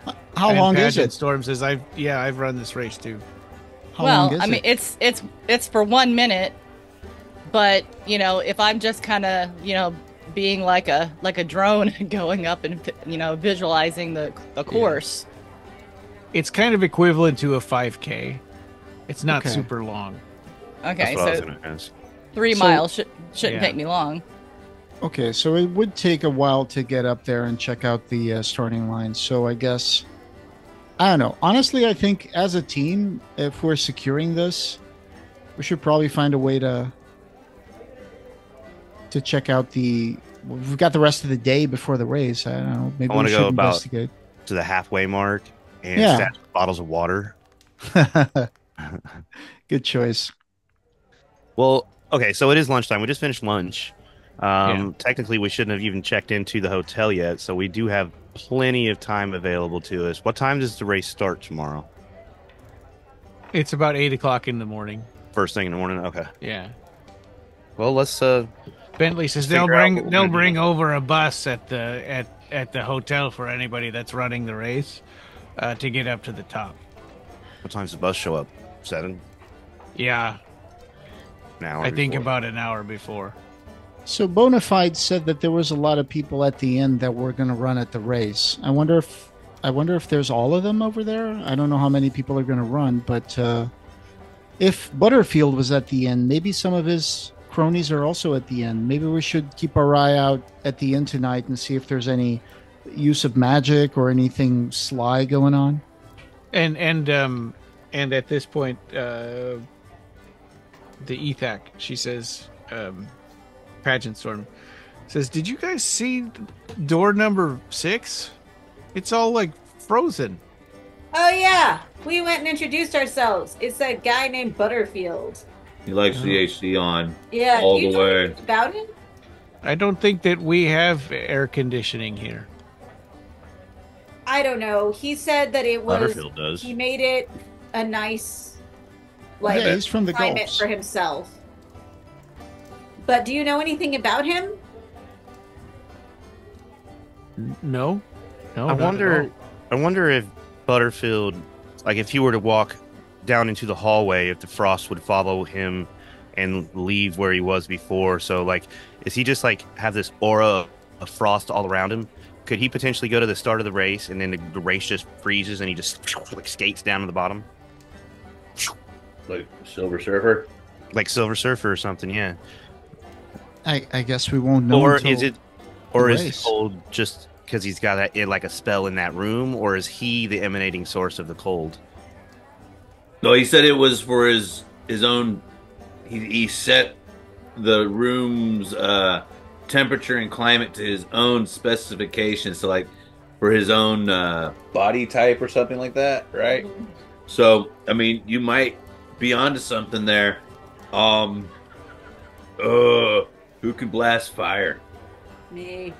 i before we blast fire at, at his door, Butterfield, I guess we should just uh I guess we should just uh try to investigate uh if there's use of magic around the inn. Oh, let's just like have that. Musette run next to him Yeah. or behind him we won't know what he can do with that until either he tells us or he does it, right? And she I blasts thought we fire. weren't doing stuff like that in public anymore. Oh. Well, that- Also, remember we're supposed to be careful for the civilians. Are there? Um, do we know if there's rules for this? Maybe we should try to talk to Riley and see. yeah, what's- Bentley, what what's the rules for of this race? Can they use magic? Are you talking about the rules for the uh, charity race or the rules for this other thing from the Gulfs that's kind of layered on top The of it? particular thing we're concerned about. Yeah, the the. I don't know anything about the rules for the um, for the Gulfs part. You might want to talk to R- Riley about that. Yeah. Okay. Well, Riley's in the inn. Uh, let's go there and talk to her, or I can go there and talk to her. Okay, sorry. To reconfirm, Pageant Storm knew nothing about about Butterfield. Correct? No, she did. Yeah, she didn't know anything. Copy that. Thank you. She's not very perceptive, man. Her whole squad got infiltrated by these guys, and she didn't even know. Point. Well, they were different guys. Yeah. Okay, so I'm gonna go over there and I'm gonna. Riley said she was in a. Did she give us a room number? I forgot. Uh, one. She's in room number one. It's right across the hall from you guys. Oh, okay, okay. So I'm gonna go over there and Because it knock goes on her one, door. two, three down the left side, and then four, five, six down the right side. I'm They're gonna go not there like and hotels and it, you know that we're used to. They're a little less organized. Knock, knock, knock. Hey, Riley, are you there? Ah, yes, Churdovir. Good to see you again. Did you have breakfast? Yes, we went to, uh, you know, the the the inn next door. I had some nice zarzi with grits, and uh, and so I was just wondering this Gulf agreement with the humans, uh, this race. I mean, everybody here in Beatrix only seems to know that this is just a charity race that happens every year. But you mentioned that today is a special race, right? That this happens every hundred years, and the last time was forty years ago. Are there any special rules to that agreement that we should be aware of? If you start a fight with any of with uh, with any of these uh, Gulf's factions before the race starts, then it's forfeit and they just win by default. Okay. Are they? Are we allowed? Is is magic use allowed in the race? I would say so. I mean, you know, they're Hmm. kind of magical by just innately, right? So Right, right, right. I I don't think you know. I think that if if you get in a fight with them, they're not going to hold back. but are we? If we're defending ourselves in the race, would we be disqualified if we get into a fight? Don't, so uh, just don't throw the first punch. That sounds sounds standard for any sort of event. Yeah, I mean, I think that um, they're probably all going to look like normal people to start with. Hmm. They're going to be in disguise. Okay. So it's not going to be immediately obvious who the Gulf is and who Right. the humans are. Okay. Although, if you went and visited Butterfield, you may recognize him. What constitutes starting a fight? Uh, you know what? I would just say. Because what if they start a fight with us? We cannot be held responsible for what we might do. I, I, I can see why you're concerned after what happened with the circus and everything, but I would just say that um, just sort of make sure that other people can see what you're seeing, and I think you'll be okay. Do you know what I mean? Uh, like if, if you're fighting a demon, I think that no one's going to begrudge you using everything you have. But if the demon shows up like a real person, won't it seem like we're doing the same thing that other people have seen us do on TV? That we're attacking random people? Uh, I guess we'd have to find a way of unmasking them first. mm, I just don't want to be just one of us on interrogated the- by someone saying, "Why did you guys shoot this guy?" or "Why did you guys do this in front of everybody?" And then we have to say because he was a demon, and then they look at us like we're crazy. And then You some know what, asshole that- video that's records also- and they review the tapes and like it looks fine to us. You're just assholes. that, that's also why time. I'm running the race with you. Uh huh. Okay. because okay. uh, you now you'll have an official from Jericho, official. who who uh, will be able to see what you see. Hopefully. All right. Um, sounds good. I, we were thinking about running uh, with a buddy. So if you want to run with us, uh, you can pick someone to run with. Sorry, we completely glossed over that we're supposed to recognize Butterfield. I'm just saying that you, if you've met him already, you'll know what he looks like when if he's in the race. He- Oh, he yeah. look- yeah. We'll point him In- out to in- you. i- if he has a uh, human disguise, anyway. Oh, I'm going to tell Riley that there's also we also know there's going to be someone representing another faction of the Gulfs, and it's going to be a uh, you're going to see him as a, a man with black eyes, but he's really like a spider from hell. And he's representing who again? Well, this is Riley, so I'm assuming she knows the story with Gaustus. Gaustus. Okay. Yes. So he's he he's uh, is he on your side then? Well, I wouldn't say he's on our side, but he's the guy that we did that pact uh, with a while ago, and then we delivered Cassius Briar to him. Mhm. Um, for some reason, Butterfield thinks that his connection to me means that he's running our team, which is untrue. But I just want to let you know that there's more at stake here. There's a internecine faction uh, going on with the Gulfs where both Butterfield and Gaustus are competing for something. So I think they both have to lose so the humans come out on top. Hmm. Okay. Eh, Are you you're you're kind of messing with your pact? Well, I fulfilled my side of the pact with Gaustus. I don't think I owe him anything else, and it would be nice to be able to get rid of these things that are in my head. So I don't want to keep doing pacts with that guy anymore. You don't even get radio with those things, do you? AM only. Oh God, Sucks. You you made got more screwed than on that deal. Did you make more than one pact with him? No, I just did the pact of promising him the uh, soul for Cassius Briar when we defeated him. Hmm. I didn't do any other pacts with him. Okay. All right, so I guess we'll uh, we'll see you in the race tomorrow.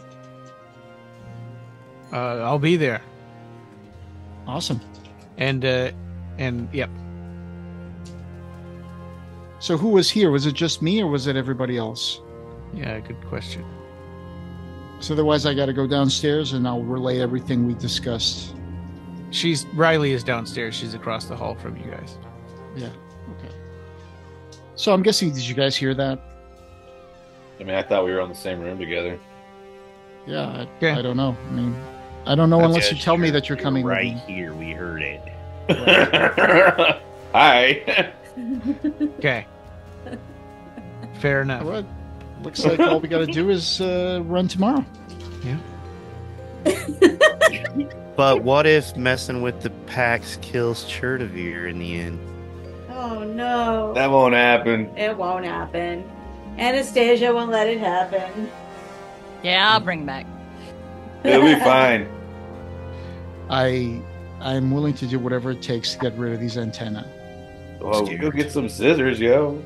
I well, I don't want to mutilate myself. I want them to disappear.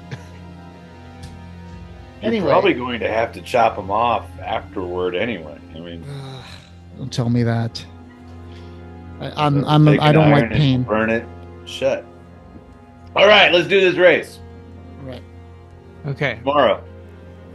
So you guys talked about investigating the hotel and or like knocking on other doors, or did you want to do that, or you, you are we skipping? Probably tomorrow? not. I don't. I I don't guess we could. know. uh, Okay, I I I'm at I'm at the end, so I inspect my surroundings. I I see what uh, if there's any weird things going on in in the hallways. Just the what you already knew about with number six. Yeah, the the frozen door. Nothing Yeah. else. No.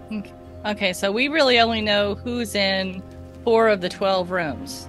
Us Yeah, you- and the three people that we've met. So there's eight rooms we don't know who's in there. Mm-hmm. Oh, is this like a bed and breakfast? Like, do we all have to have breakfast together tomorrow? Uh, not re- there's no uh, there's no I mean, that's why the restaurant is next door. Is Copy that. Okay, so there's no like yeah, community space. Okay, so we can't Yeah. like get up early and just sit around in the lobby. not really. There isn't even much people. of a. There isn't even really a lobby. Okay, never mind. Does anybody have detect magic or anything like that? Um, I have. Let's see. Why? I mean, we live in a land full of magic. Everyone in this building has it. Yeah, I mean, that's what I was thinking. I have it, but why? And I have identify. if we I guess we were identify trying to see if the rooms are showing off any sort of magic creatures inside them. But There's I guess- literally a giant my- spider. my- you talk to a giant spider. That's true. That's Well, my- ago. My detect magics, uh, basically, um, it's supposed to detect uh, a faint aura around any visible creature or object in the area that bears magic. So, basically, unless they open the door, all I'd be able to do is maybe see a faint aura around it, but it doesn't necessarily mean that. It just means it's close. But uh, again, all of our creatures are magical pretty much, so. Right. Yeah, it probably is kind of a waste of your of your talents then. Okay. I feel So- like they're motivated to have us in the race. So I don't think they're going to try to attack us and disqualify themselves too. I think everybody's here to do this ritualistic race. So I don't really think we need to do much more investigation. I think that I don't know. Maybe we should. Maybe we shouldn't. I don't know. Maybe we should sure- do the smart thing for once and actually keep to ourselves, unwind, and get some rest. N- Okay. Not make any animosity with anybody. and Richard, Maybe you we should should bring cut our losses right now and just go back to our room. and Richard, you should bring your glasses with you tomorrow for the race. Um, that would be interesting. And uh, oh, do you have a headband to keep those on your face while during the race? I'm a t- I can attune to them. And they're just stuck to your face? I Oh, don't you want to make it like sports glasses? They just clip on like that. like uh, Morpheus. I'm gonna go make you a band. I had some from that mentors Minotaur. Yeah, Well, I one- thought they. I thought they pretty much uh, were just on him all the time, but he can just activate him when he. Yeah, I I guess. like that. Well, on the original uh, AI art that I submitted for the inspiration for my character, he kind of had them like molded into his skin, like they were like Oh yeah, right. like an body modification. Yeah, Yeah. I think Oh, that that's I think that cool. was That's because rad. of Yeah. because AI was uh, was screwing up the. Oh, for sure. But I thought it looked Yeah. cool. Yeah. yeah. Okay, so Okay. yeah, that's how they fit. nice. Oh, You- So you're a freak just like us. Yeah, so I guess we'll relax. We'll get some rest. Okay. Tomorrow we'll have breakfast at the inn, and we'll see if we can find out any of the other um, contestants. I guess before we start the race, and then we'll all cram into the bus. Okay. All right. So you, uh, after uh, after a while of just hanging around and talking, uh, you guys just all go to sleep, and you can click the long rest button if you need to. Probably have done that already, and so you probably don't really. It's probably not going to make any changes, but Long rest. yeah. Uh, it might reset your spells if you had spells used. So yeah, I have heroic inspiration. When that? What's that? should there be a description on it? Uh, it just it's a thing that I have on under my hit points now, and I'm like, huh, it's never said that before. Oh no, that's always been there. It's never said heroic inspiration. It's only just said inspiration. Well, yeah, it used to just say inspiration, Yeah. and now it says heroic inspiration. I see inspiration. that too. Oh, okay. Different. Yeah. So if there's Uh-huh. something filling in that box, that means that you did something cool that earned you inspiration. So if you roll badly, you can re-roll it sometime. Looks like it was a new uh, rule that came up in June 25th of this year. Yeah, I Well, haven't they just- a lot of it's the same thing. It's always been there. They just changed. They just added the word heroic to it. The new edition just came out. Um, It says here that the new heroic inspiration, uh, you will no longer roll with advantage. You won't roll two 20 sided dice and choose the higher roll. Heroic inspiration is a re-roll. You roll that d20, see the result, decide you want a higher roll, and then re-roll that d20, which is kind of what we were doing before. I did. I don't think we rolled two 20 dice. We Well, roll we're- one. we're not then we switching suck to at the game, and so we just roll again until we. we're not make work. switching to the new edition anyway. We're we're in the middle of this campaign. We're not going to Right. change all the rules. Right. All right. So what do we do now? We did the long. All right, rest, we so it's it's early morning. Do you, before the race starts, do you guys want to take a break?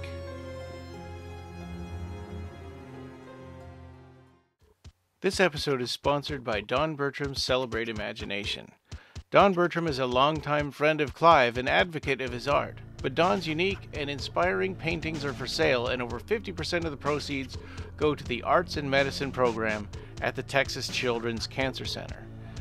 There's even a paver in Washington, D.C., representing Celebrate Imagination. We're thrilled that this worthy cause is sponsoring our podcast again this year, and we hope that you'll consider looking over his Pinterest page and commissioning a painting of your own. For commissions, Don requires no money down, and there will be no obligation on your part. You can also head over to the Etsy shop to buy one of his books, like A Chimney Sweep's Tale, Celebrate Imagination, or The Imaginaries. Follow the link in the show notes or click on the side banner and let's see what's new with Don Bertram today. On his Facebook page, check out The Sun Watchers and The Descendants. Also, take a look at his videos on our website of The Bugs Brothers, uh, an original Clive Barker painting, and the intro to the 35th anniversary screening of Hellraiser. Humanoid character artwork for Musette, Churdovir, Zoe, and Ralph by Asya Yordanova. She also created the Unbeheld in the opening title sequence.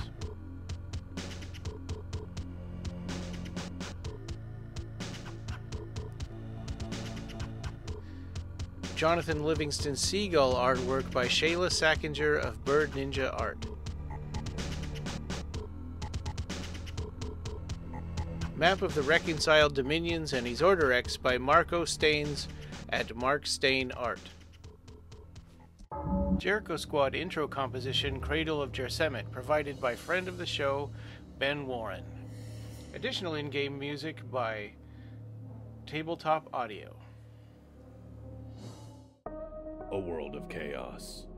It's called Deathworld now, Way. Humanity needs a hero. How do you know Rue isn't just fing with us again? Because he is attuned to it. But instead, we got this. oh, oh, oh, okay, okay. We are absolutely. Do it, do it.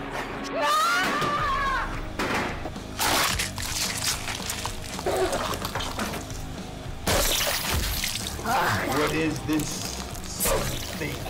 Well, he has your blade. But that's mine! These weapons are the only thing that can make them bleed. I want him dead. Cool. Then let's go kill this. You saved the world? Yeah. Whatever.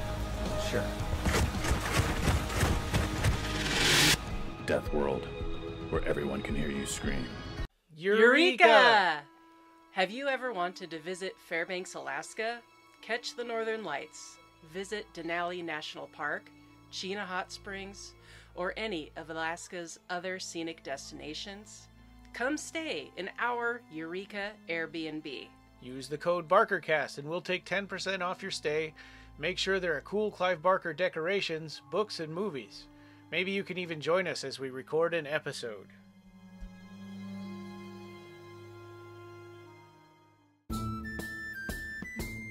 Another great way to support the BarkerCast is go to our TeePublic store and get one of our t-shirts. We've got Jose's Baphomet design, Jericho Squad, uh, designs by Nina and Ed Martinez, Marcus's Pinhead design, and our old legacy shirts. Just go to www.teepublic.com slash stores slash barkercast. The BarkerCast interviews Occupy Midian. Previously, this book was only available on Kickstarter pre-order. But now you can get it on Amazon.com. Over 400 pages of interviews documenting our time at the start of the podcast and the Occupy Midian movement that successfully lobbied for an extended version of Clive Barker's Nightbreed when the movie studios and distributors were against it. Chock full of interviews with cast and crew, there are some great stories. Edited and assembled by Ryan Danhauser and Jose Tang, the people behind the long running Clive Barker podcast. Tell the world you're a Clive Barker fan and support this monumental effort from the fan community by buying this book on Amazon hardcover, Kindle, or Apple Books. Thanks for listening. Reading. Thanks for reading. Of course, the best way to support this podcast is through our Patreon at patreon.com slash barkercast589. Our subscribers will get exclusive access to content not available anywhere else, like our Collector's Corner video series, rare Barker videos, and early behind the scenes stuff. Plus, backers in the $10 tier will also be able to choose an episode topic, and we might mail you something once in a while, depending on your location. Our supporters also get access to the exclusive channel in our Discord server. We'll be forever grateful if you consider helping us out and subscribing to our Patreon. So, what's new on Patreon? Special thanks to our Patreon backers David Anderson, Erik Van T' Holt, Daniel Elven, Amanda Stewart, and our returning sponsor Don Bertram's Celebrate Imagination. Just in while I was editing this, Don Bertram sent me over a video that he made of his memory of Clive Barker's A to Z of horror, in particular, uh, his memories of the artwork and and uh, that went along with that. And that was in response to our interview with Stephen Jones on episode 464. So if you're a Patreon backer, go check this one out. It just posted. It's, this is Saturday as I'm editing this, uh, so go take a look. By the time this episode posts, you should be able to see Jose's new uh, Patreon post, a story with no title, a street with no name and Jose's reflection on our conversation with editor and author Stephen Jones, which you shouldn't miss. There's also a blog post version of this. Everybody should check this one out. Coming soon, the Book Club of Blood, where we will visit with uh, our Patreon backers and, re- and revisit each Books of Blood story from start to finish, one episode per story, where we really get to deep dive in. Uh, you guys, I'm assuming you get up uh, in time for the bus. I, you know, we don't have to. I barely make it. I'm like right at the last second. Do an uh, do a time schedule check. Yeah. So, so you're able to get on the bus. is ready to run. Yep, you you see all the other people from the from the hotel getting on the bus with you. There's the guy who was filing his feet. He's there. It looks like he finished filing his feet. He's got like a half inch of callus, Like- and it's so it's like a shoe tread uh, on the bottom of his foot. Hey, some guy won the marathon in the Fifth Dominion without shoes. So good luck Yeah. for that guy. Yep. Hey, And, man, uh, it obviously and so- works. Yep. And you you see a woman uh, coming out uh, behind him, and uh, and another guy, and then you see Butterfield. He's still wearing his suit. Apparently, he's going to run in that. Um, Paget Storm comes out, gets on the bus. A guy who seems to be that a Churdovir would recognize as being from My K. Um, and uh, you see Willem, you know, in his you know goth looking outfit, look looks like a person. And uh, Emo spider. yeah, I'm Mike, imagining who's? Spider Man and Yeah. Spider Man Two. Who that and and, and someone dressed uh, as if they're from the Deliquium Kesparate in Yzordderrex. Yeah. okay. Yeah. A lot of people. Yep. So you all kind of squeeze onto the bus, and uh, you're 99 And the- bottles of beer on the wall. Oh, you beat me to it. Oh man, I bet it stinks on this bus. You guys think he's the mole? It only takes about ten minutes to get up there. Um, you know, once everybody's loaded on the bus and the and they shut their doors and and drive up. Um, it's an old, old like '50s looking diesel bus, uh, and it yeah, it takes you up to the top, and you all kind of line yourselves up on the uh, at the starting line. I was wondering. So. Coaxial Tasco uh, stood up in front of everybody with a megaphone.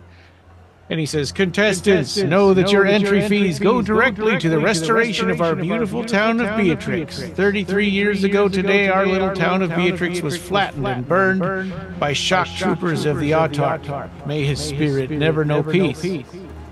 But just look at us now, on our way to being a bustling little town again. We have visitors from all over the Dominions, even the Fifth. Please don't forget to check out our shops and eateries and stay in the lovely Beatrix Inn. We love our visitors, and you know it from the spectacular service you'll always get here. And now, without any further ado, on your marks, get set, run! And then the race started. Are there stirrups like whatever for your feet to like so you can like cock yourself down and get ready to launch? No, no, it's not. It's not that. It's not really. It's not like the Olympics or anything. Well, I don't know what those things are called. Sorry, I know I murdered that, but It's long distance running. You don't get those. Yeah. Okay, well, I'm glad someone knows. Forgot how what's long going it on. was. I don't. Ralph doesn't know what's going on, so Ralph's over preparing and stretching like crazy. He takes off his Okay. jacket and shirt and is only wearing his torn up pants and ready to go. All right. So is he wearing his cloak of displacement? Probably not. Who knows? Yes, he Oh, we- is. We need to know. Yeah. Yeah, yeah. Ralph. Okay. is. Oh wait, Ralph wait. just takes off his clothes and only wears his pant, torn up pants. Hold on, sorry. Before we before we get into this, I need to hurry up and go ahead, and I need to send Bardic Inspiration to um to Churdovir since he's in the most danger. Okay. Okay, so I'm clicking one Bardic Inspiration for Churdovir. That means Churdovir gets an Inspiration die 1d10. And you know what? Um, Anastasia's running with Churdovir, correct? Yes. Okay. Okay. sorry. I'm going to go ahead and do another for Anastasia. So they each have one. So Anastasia also gets the Inspiration die, the 1d10. Okay. Uh, question. Um, since I'm running with Churdovir and we're trying to load him up with protection, can I go ahead and do uh, a level one protection from evil and good? Or, or Uh, shouldn't I? yeah. Yeah. You can. Um, let's see. So he How can't long be. does it last? Right. It just says one action, da, da, da, da, concentration up to 10 minutes. Okay. If we're doing a 5K, that's going to be about, well, depending on how fast we go, Like 40 minutes or 35, 40 minutes. yeah. Or should I hold? Do you think I should hold off? I have that as well, so I can always do one later too. Yeah, he- well, we can always top him off.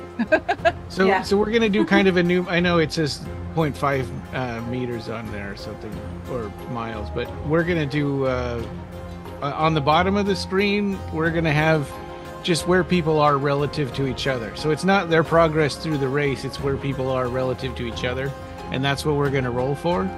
Uh, and then up at the top, if you get in a fight, we'll be moving up to the map at the top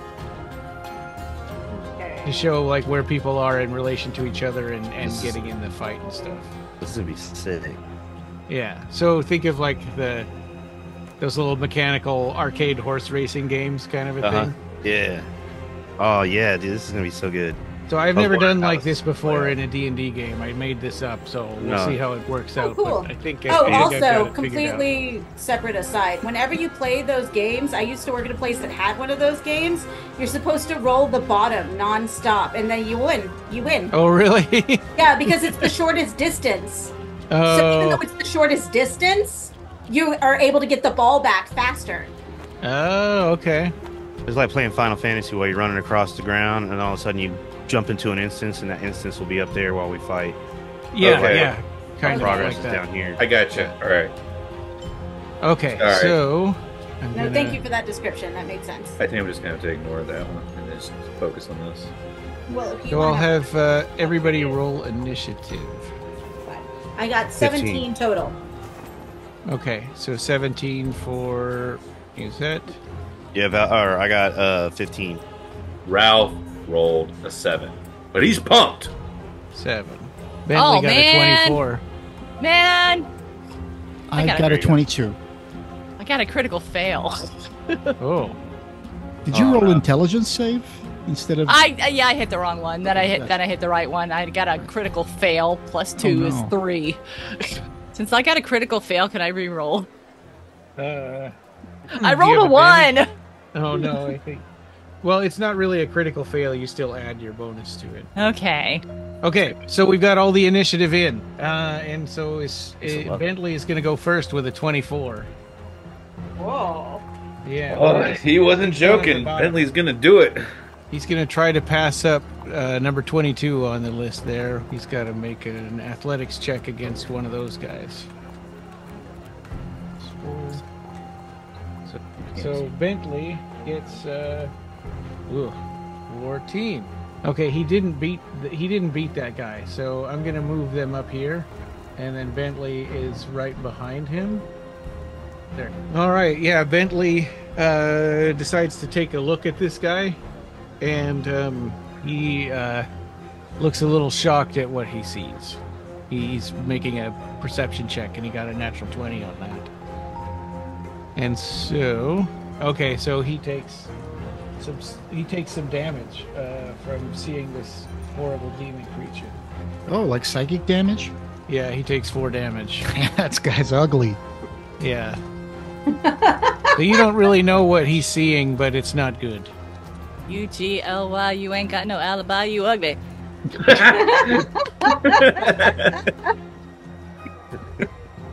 Yeah, I felt like there was a Yo Mama joke in there, but no, no. Anastasia's response was better. He takes 10 damage. Oof. Okay, and um, That's ten. at this point he's kind of looking around and like, "Are you seeing what I'm seeing?" But nobody's, you know, nobody's reacting so far. okay, he, he's not going to start a fight with it yet, though. All right, and next up is like one of the demons from Scooby Doo. There are demons on Scooby Doo. Well, in Spooky Island. Oh, We watch a lot of. We haven't watched Scooby Doo in a long time. And Sure was- do Like Scooby Doo in the. Ghoul School. sure, The to hear you have uh, you have Willem ahead of you. Scooby. Doo and Batman. Mm. Okay, Sorry. I see him. I see him to my right. Uh-huh. Yeah, so make an athletics check Athletics. if you're going to try to pass Willem. Willem got a Which one three. is Willem? Athletics check, 17 plus 1, 18. Yeah, you passed him, so we'll move you guys Nice, nice. up to here and Churdovir ahead of him. This is Just to kind of get well. them out of the crowd there. Sorry, I turned off. Okay, so you passed Willem, and Mm-hmm. he's just kind of chugging along. Uh, you can choose to try to see his actual form if you want to, or you, you you know who he is, so it's up to you if you want to scrutinize him. Uh, sh- sh- sure. I mean, I Richard saw his true form, but I don't know if he told me that. It, wait, he did tell me that he saw him as a snake, right? No, no, no. Spider. Spider. A spider, spider. Yeah, yeah, I was thinking. Indiana Jones. So yeah, I know who Willem is. I know, I know he's the spider. So I'm good. Number 21 gets to That go was a good next. roll. So he is going to attempt to pass by Bentley. He got uh 10, and Bentley got. Bentley has like a whole a whole. He he did he was not able to pass Bentley, so he's staying where he's at. Okay, so he's gonna try to pass number 31. So he rolls for his athletics. It's plus zero. He gets an 11 against this guy. Seven. He passes it. Okay. So we'll move these two up.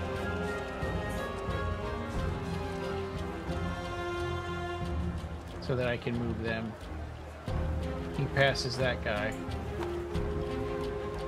And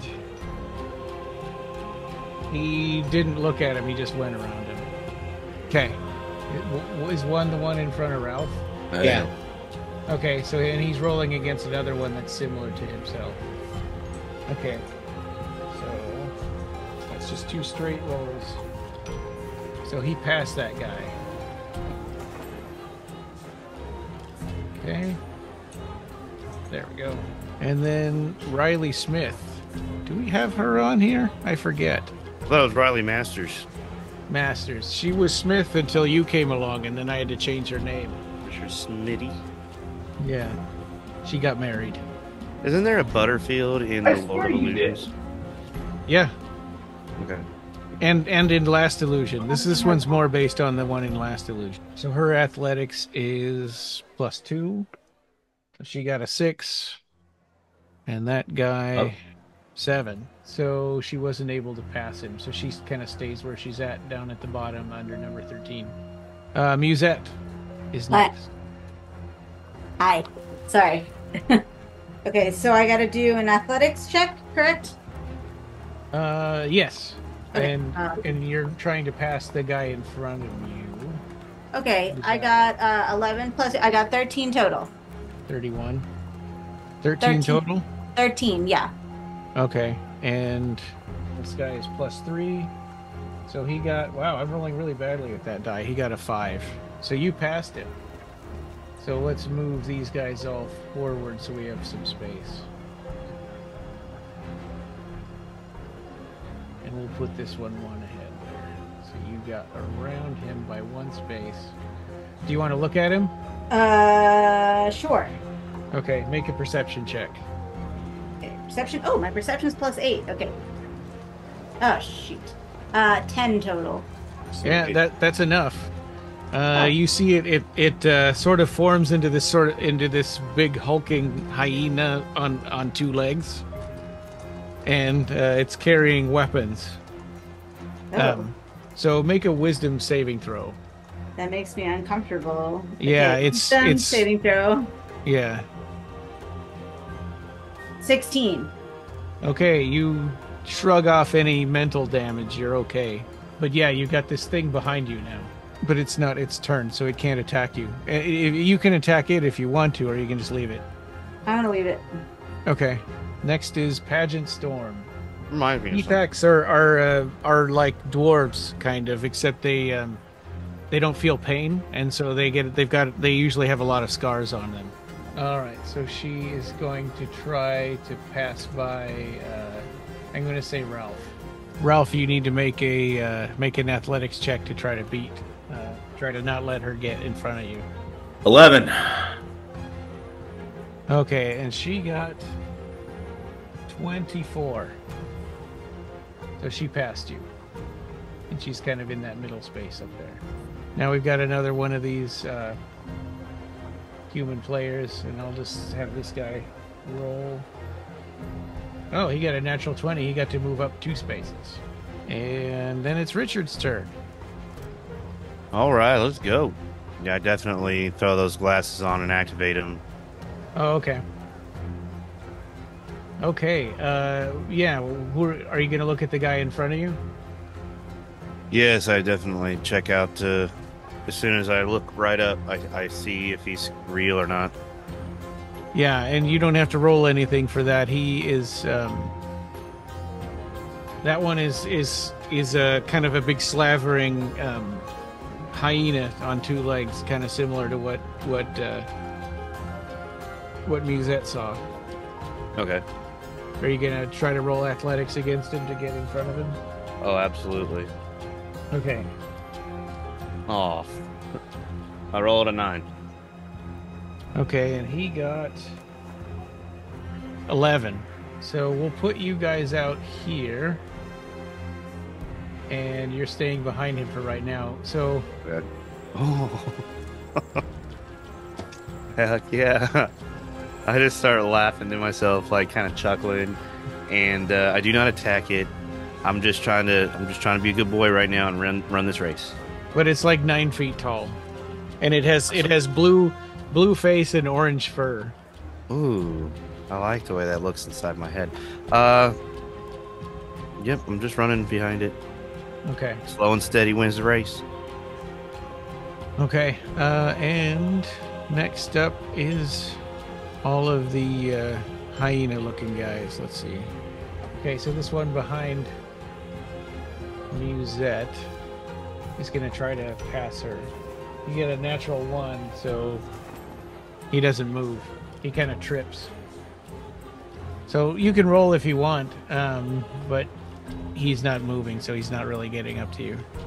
Okay, and then this one is to roll against his friend, and he passed him. And he's kind of up ahead of Bentley there, on the or up equal to Bentley on the side. Two more. That one down here is going to roll against Bentley, so he'll be the green one. Oh, he got a natural 20. So that's 22. And Bentley got 9 plus 9 is 18. So he got to move up two spaces. This guy is going to try to run against that one. This guy and that guy. Yeah, so this guy, number Bigot. 12, right there, is beating th- that one. He ends up here. And so now the orange gorilla that's behind Musette is going to try to uh, race, is tr- going to try to beat you. He's going to try to get around you again, Musette. He got 12 plus 4 is 16. So uh, Musette make an athletics check to not let him get around you. Okay. Uh, nine.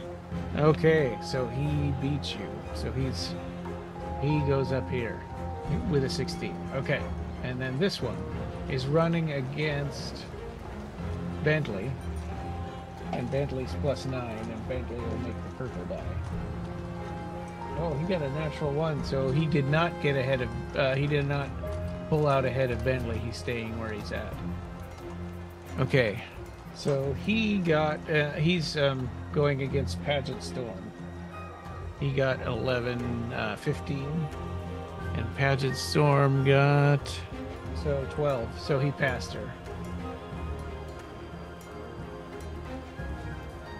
Okay. Now we've got more human types. This one passes. And those two. Okay, this one passes him. And that one is racing against Anastasia. He got an 11, so make an athletics check, Anastasia, for this guy to get past you. 19. He did not. Yay! Yay! Okay. 9 versus 14, so he passed it. Okay. And Willem, and then Ralph will be next after Willem. He's up here. He's right in front of Musette, and he's going to try to pull away from Musette. So make an ath- uh, Musette needs to make an athletics check. Copy that. Jeez Louise, five total. Okay. He got 22, so he actually pulled two spaces ahead. Willem is actually in the lead in the race. Okay, Ralph, you're uh, up, and you're racing up against. You've got uh, somebody beside you, and uh, some and two people in front and to the sides. You could try to squeeze in between them. Um, do Blast. you want to look at any of them first and try to figure out who they are, or you want to just try to squeeze into that space? I'm just gonna squeeze through it. There's no sense in knowing who these people are. Okay. Either we win the race and they attack us, or we lose the race and they attack us. Well, they attack you during the race, not not when you win. Either way, we're the bad guys in the grand scheme of things. How do you mean? We kill everything. You don't have to. Yeah, I don't understand. Anyway, I'm just gonna roll. I'm gonna So move. who- okay, roll athletics. But you're not going to attack, is what you're getting to, right? No, I'm not gonna attack. Okay, we're actually being reserved for once in our lives. Okay. We've learned our lesson, maybe, possibly. I mean, not doing anything and taking the first move might end up biting us in the ass, so we'll see. Here we go. Ralph rolls. Oh shit. Uh, You Seventeen. beat- you got to beat a natural one, so you beat. You can. Yep, you can move up there into that space. I can do it. Yeah. Okay. Cool. Oh. So forty-one. Who's kind of two spaces in front of uh, in front of Anastasia. He'll be the green die.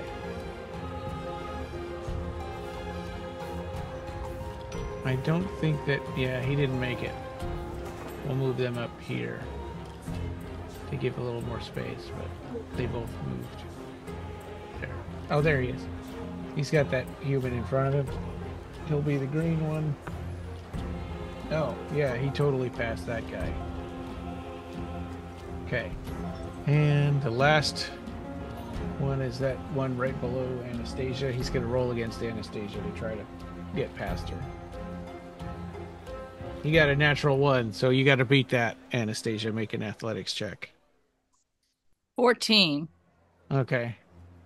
So I would say that you kind of move ahead here. Okay.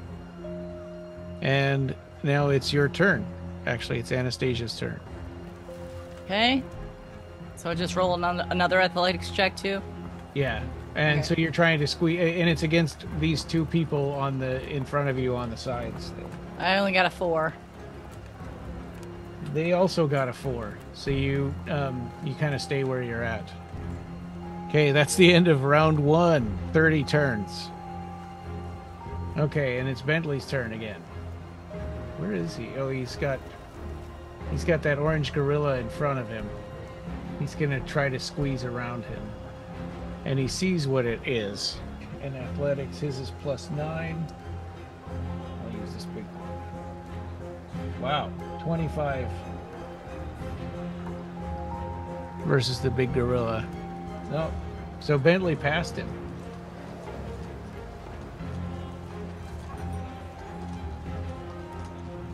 In two spaces because he got above a 20. That's Bentley's turn. Churdovir is next. Yes. Do I need to do an athletics check? Uh, where are you? Let me find you. I'm on the fourth lane from the top. Oh yeah. Okay, you're. Yep, I see.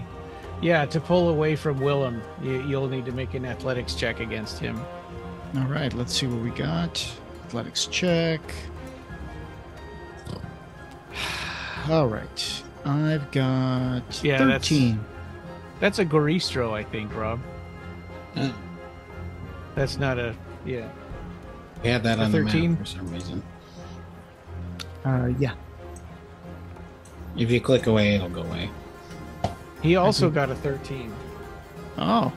So Looks you're like we're still head to head. neck and neck with that. Okay, antenna to move you both spider leg with one. that. I gotta push my antennas forward for like Yeah. aerodynamics. right. He doesn't have to roll against anybody. He just we'll just see if, how far he gets. He got a natural 20, so he gets to move up two two more spaces.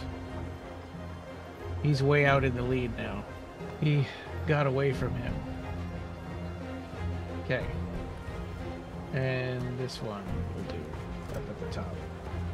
He pulled up one. Okay. And then it's Riley's turn. She's way in the back. And she's got nobody she's really up against because she's been left behind. So she just needs to make an athletics check.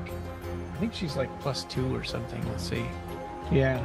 So she just got a five. She didn't move. She's still she's still in the same spot. She's kind of slow. Okay, Musette is next. Slavering hyena-looking guy behind you, Gross. And the gorilla is like in front and to the right. The orange gorilla.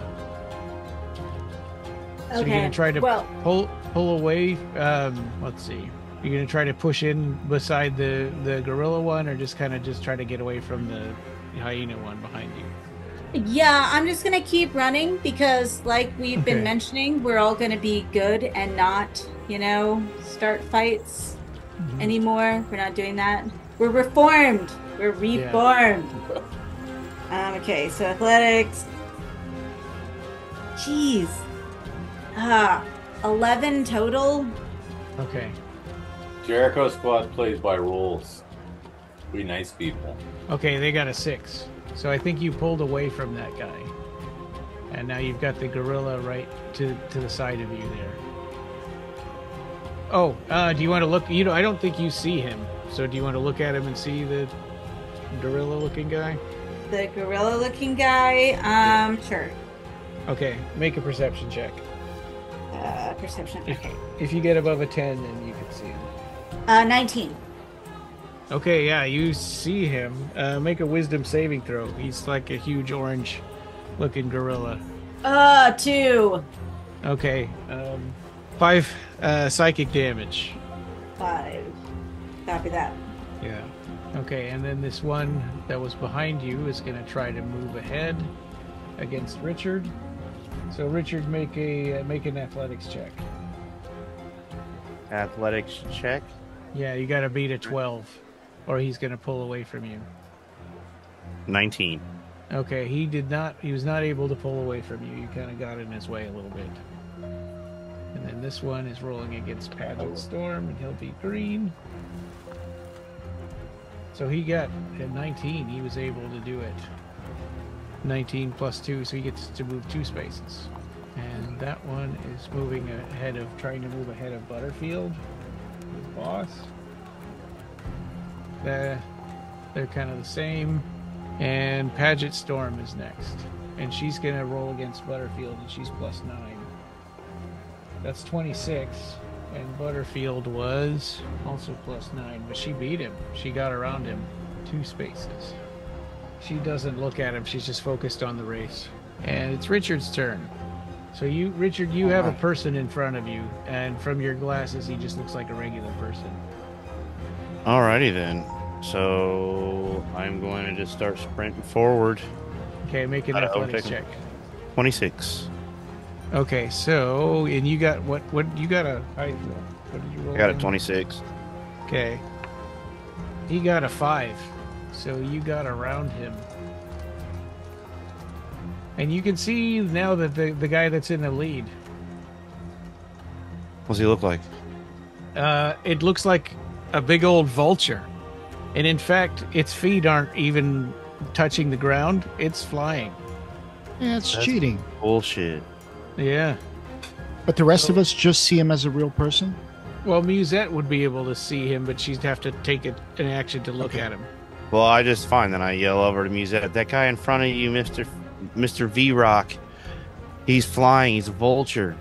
Okay. Um, do you want to do anything on your turn? He's probably he's a he's a good like twenty feet in front of you. I can't really hit him with any of my swords that I'm rolling with right now. Okay. All right. And it is the orange gorilla. They're called Balguras. It's their turn. So, one of them's trying to get around Richard, the one that's right behind him. So, Richard, make another athletics check, and you got to beat an eight. 23. Okay, he is mad that he can't get around you. He's you're kind of blocking his way, and so he's going to attack you. That's the, the orange, uh, orange Yeah. ape. So let's put in the upper section here. Let's put um, him and Bentley and Musette and Richard all in there.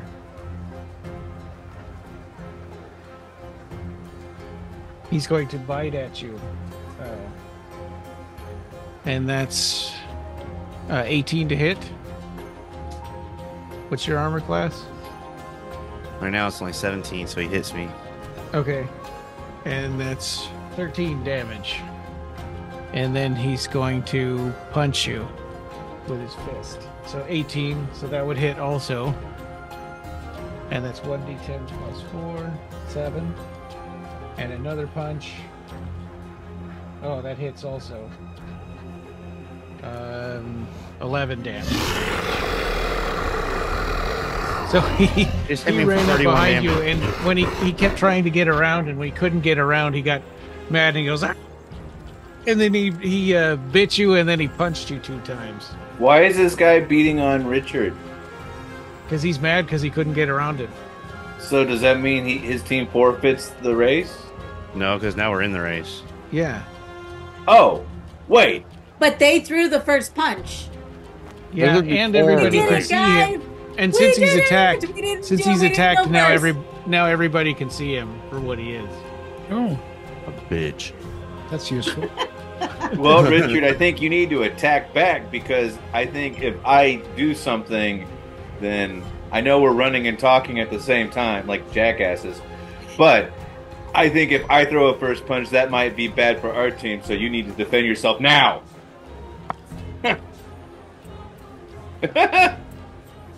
I'm like half health right now. I'm like, all right, bro. Well, let me catch up. Let me catch up. And now it's the other or the other gorilla's turn. I mean, Jesus, we haven't even gotten halfway yet. We haven't even gotten like a tenth of the way yet. Well, like I said before, we're not. This is just showing your relative position to each other. It's Oh, not your progress in the race. Gotcha, gotcha, gotcha. The other one, where is? Oh, there it is. It's gonna try to catch up to Bentley. He got didn't he didn't move anywhere, and Bentley uh, Bentley's staying well ahead of him. Okay, and next is Butterfield's turn. He's gonna try to get around this uh, gnoll. He succeeded. Okay, and another person didn't go anywhere. And the big gnoll. There we go. He's trying to pull away from that. He did not succeed.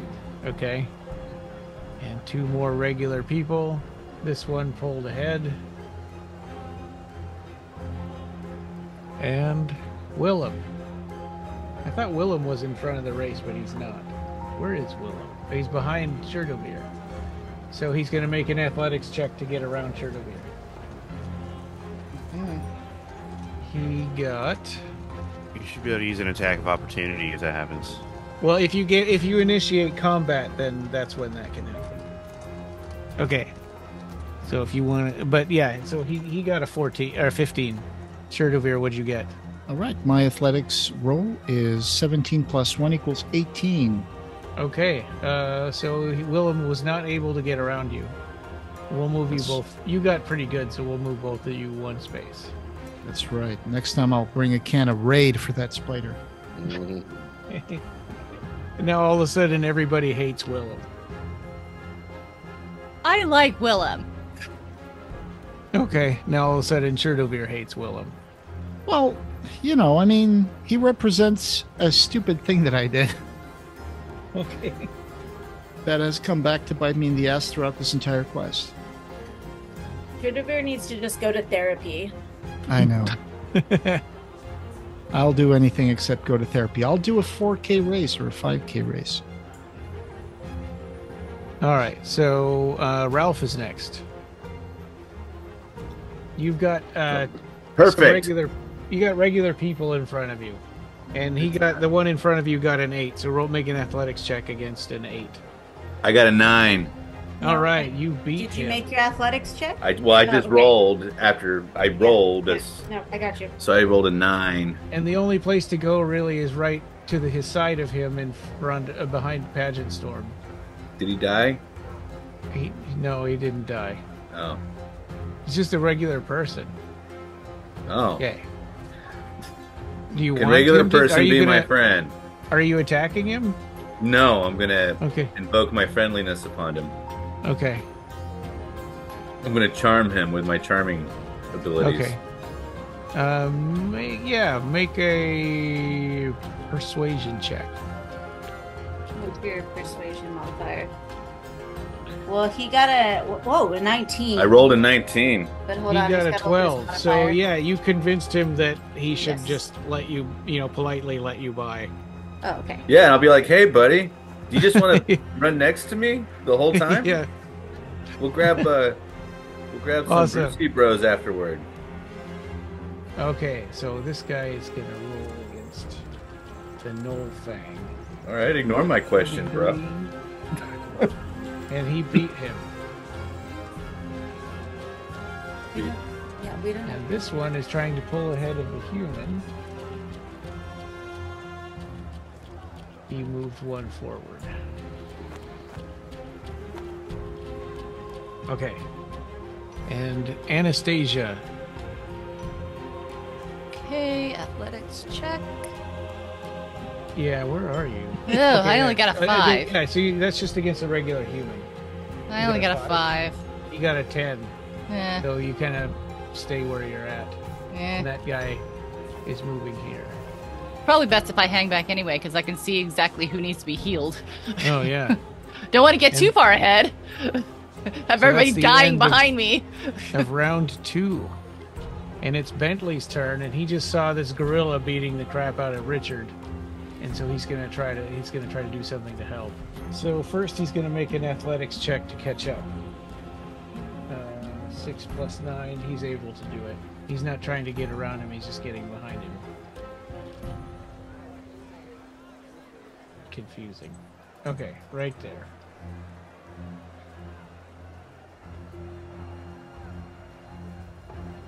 Bentley is going to make two attacks against him. He's to do uh, one with his short sword of life stealing. So he does 10 damage to it with his first attack. And he's to attack again with his plus one longsword. That hits. Uh, 12 more damage. And he's to get one more attack because that was his two handed attack, and now he gets one more attack with his regular weapon, his longsword. I think that's a miss. So that's the end of his turn. Churdovir is next. But you've got Willem right behind you. So do you want to make an athletics check to try to pull away from Willem? Yeah, I mean, we can either beat him or beat him in the race. So I'm gonna try to I, do I don't that. know what you mean. Okay. I mean, we can either start fighting them or we can try to win the race. I mean, if we win the Mhm. race, there's no way they can. But I'm not supposed to win the race because Gaustus and me have a history. So I was going to stay behind, but. what do you mean you're, you're not supposed to race win the race? Well, we were talking about it, and Musette and Richard, and they told me I don't think you should win the race because Oh, you're in okay. in a pact with Gaustus or whatever. So it, it would mean like he won. So but that uh, was before the race started. I think at this point it's just, you know, survive. So you do what's best for you, Yeah. which will be what's best for all of us. All right, so let's So- go ahead and do an athletics check. Oh my god. Four plus one equals five. Yeah, and Willem got a Willem got a higher than that. So you guys are just kind of staying in your relative positions there. Okay. Are you gonna do anything else, or is that it for your turn? So right now, who's fighting? That that group below you. Um, Yeah, Anastasia. Bentley, the Bulgura, and Richard. If they Oh, I to. see. I think I think three people are okay for that guy. So I'm gonna I'm gonna try to stay where I am. Okay. Now it's the the vulture guy in the front. It's his turn. So he's going to make an athletics check to try to pull ahead even further. He got a six, so he uh, he kind of slowed down a little bit. He didn't move ahead anymore. Okay, and now uh, two more humans, and that one is pulling. That one next to Ralph is pulling ahead. Or no, wait. He said he was to stick by Ralph, so the other one is pulling ahead because he got charmed. Okay, there. And now it's Riley.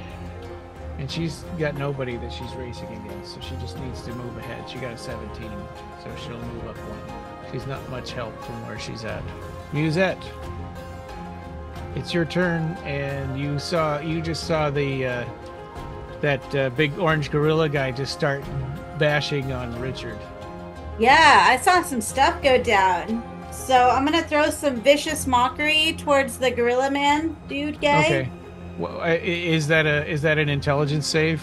It is uh, Or wisdom? It says, um, okay, for me it's at will uh, wisdom.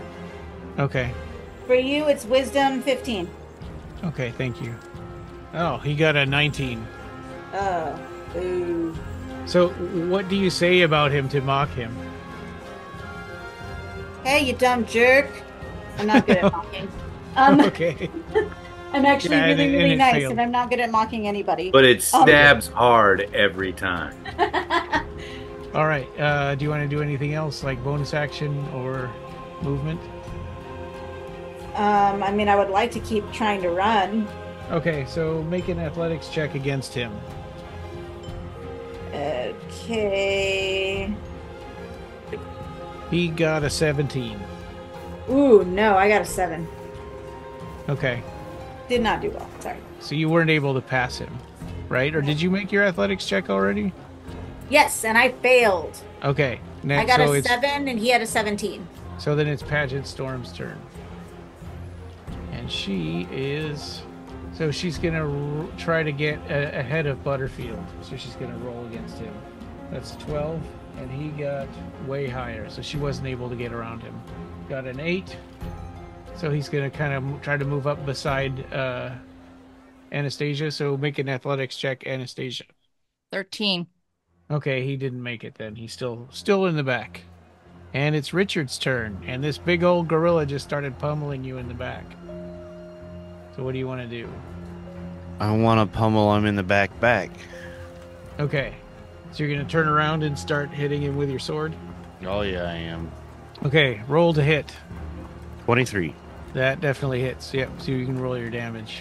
Which sword is this that you're using? Cassius Pryor's old sword. Oh, okay. 10. Okay. And uh swing again with a 25. That definitely hits. 14 damage. Wow. Okay. You guys are whittling him down. He's looking kind of beat up, and he's regretting his. Uh, it looks like he's kind of regretting his starting this fight. Yes, regret your life choices. yeah. Okay. Oh, yeah. So, what, what do you want to do for? Do you want to? Do you want to try to stay ahead of him now, or do you? Want Oh, for to- sure. Yeah, I want to keep running. Okay, make an athletics check. He got. uh Oh, you beat him. Yeah, he got uh, eleven. 22. Yeah, so you can, uh, with over a twenty, you can move ahead two spaces if you want. Yeah, let's do so. Okay. So we'll do that here, and then we'll do that also down below in the yeah two spaces. So you're right next to the vulture-looking thing. And up here, actually, how many spaces? I mean, in in real movement, how many spaces do you want to go? Because you can go your full movement if you want. Oh, yeah, let's just uh, go my full movement. So is that thirty? Uh, my walking speed is 30. Yes. Okay. So so that's 10. So you can do 15, 20, 25, 30 there. All right. And yeah, you see this this vulture thingy you've caught up to it now and it's kind of looking back like, "Uh-oh, something someone's catching up to me." I just wink at it. All right. So this one is going to try to get in position next to Bentley. Yeah, uh, it does. It succeeds in getting up there.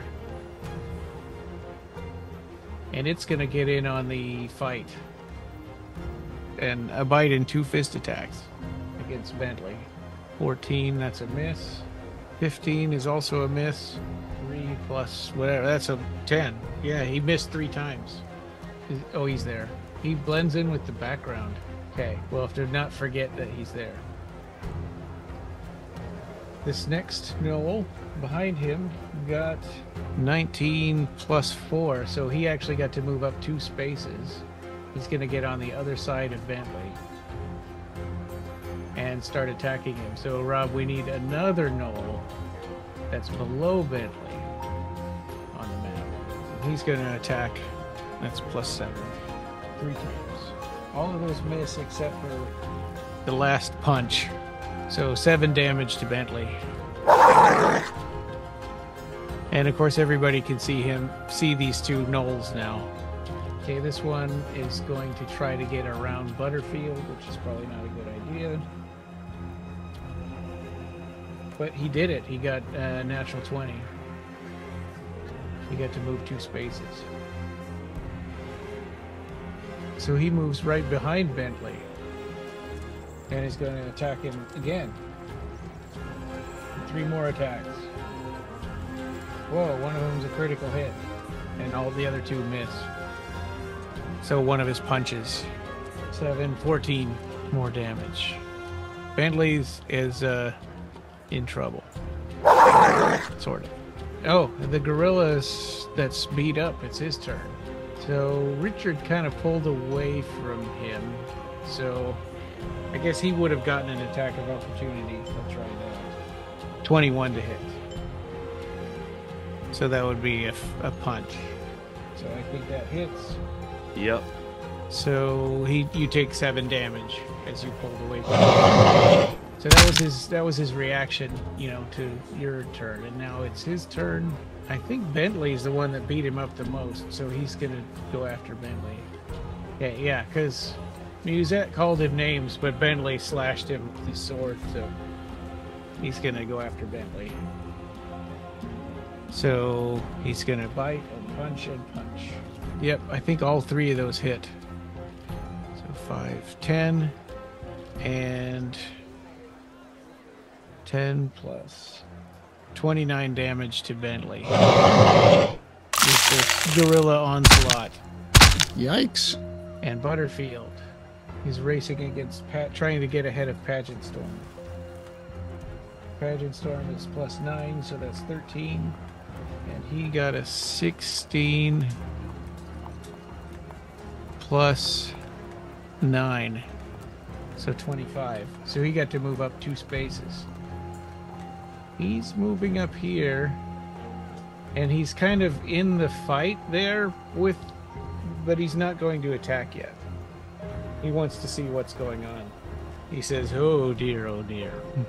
the other gorilla guy. He got up here. Okay, he's catching up.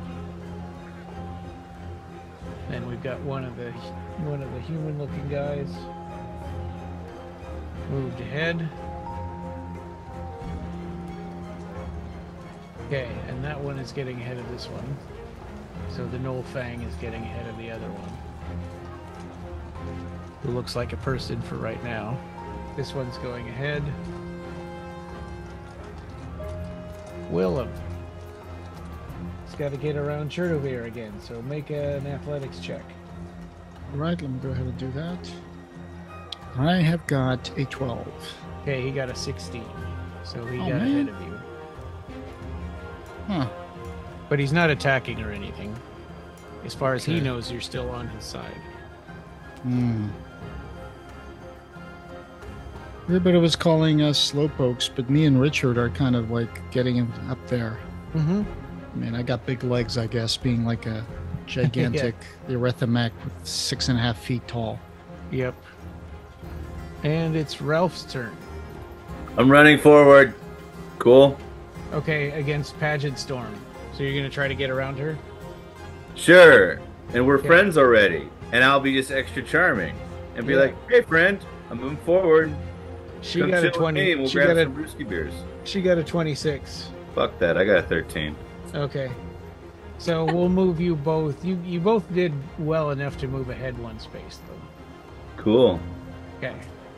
He got ahead of that one. And he's so he's coming up behind Churdovir.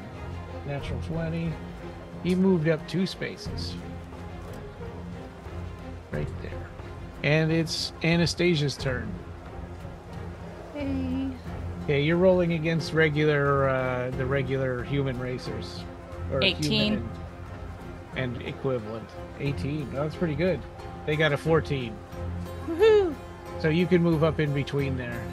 All right, round four is Bentley's turn, and he is beat up and surrounded. He says, "Hey guys, I think I might need some help." And he's gonna start attacking this gorilla guy. Going as fast as I can. he's doing his short sword of life stealing. 24 to hit, and one plus six, seven damage. Okay, and he's going to attack two times with his longsword. I'll just roll both. Nine damage that time. And he's going to use his. Uh, he's going to use his action surge so that he gets a whole other round of attacks. Because he's scared he's going to die if he doesn't finish this guy off. Short sword of life stealing hits. 12 damage for that one. And it is dead.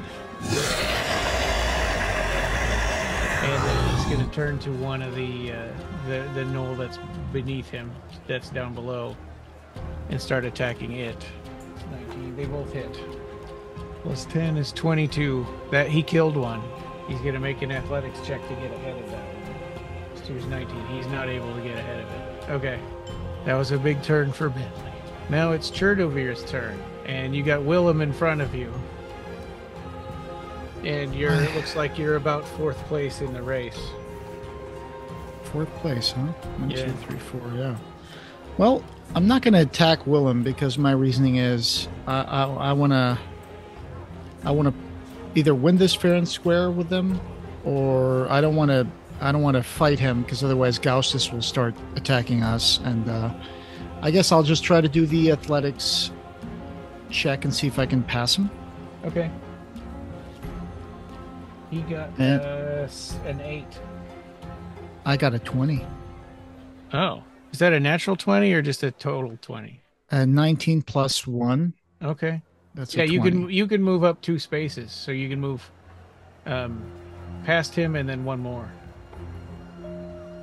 So I you're have- actually tied for first right now. All right. And that vulture, um, do, I don't know if you can see the vulture thing. I forgot.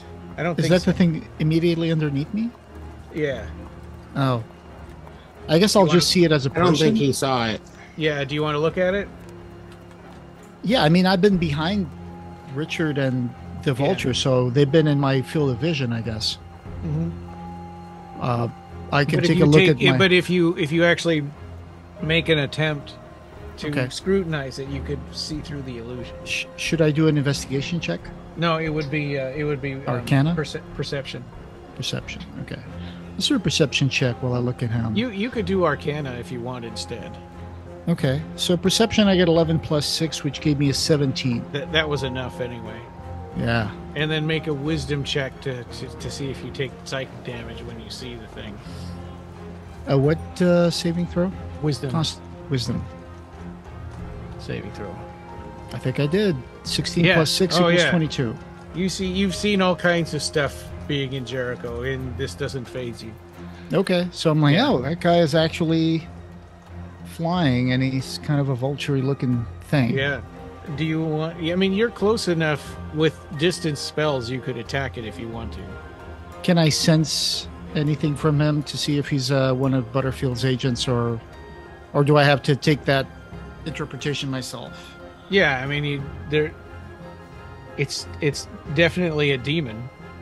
Right, and I think Gauss's uh, representation is only Willem, so that's the one guy who said he had. So I guess I'm safe to attack him. Um, can I still attack him in my turn? Uh, yeah, yeah. All you've done is move so far and look at him. All right, since I'm tied so I would say that would be your movement and your bonus action.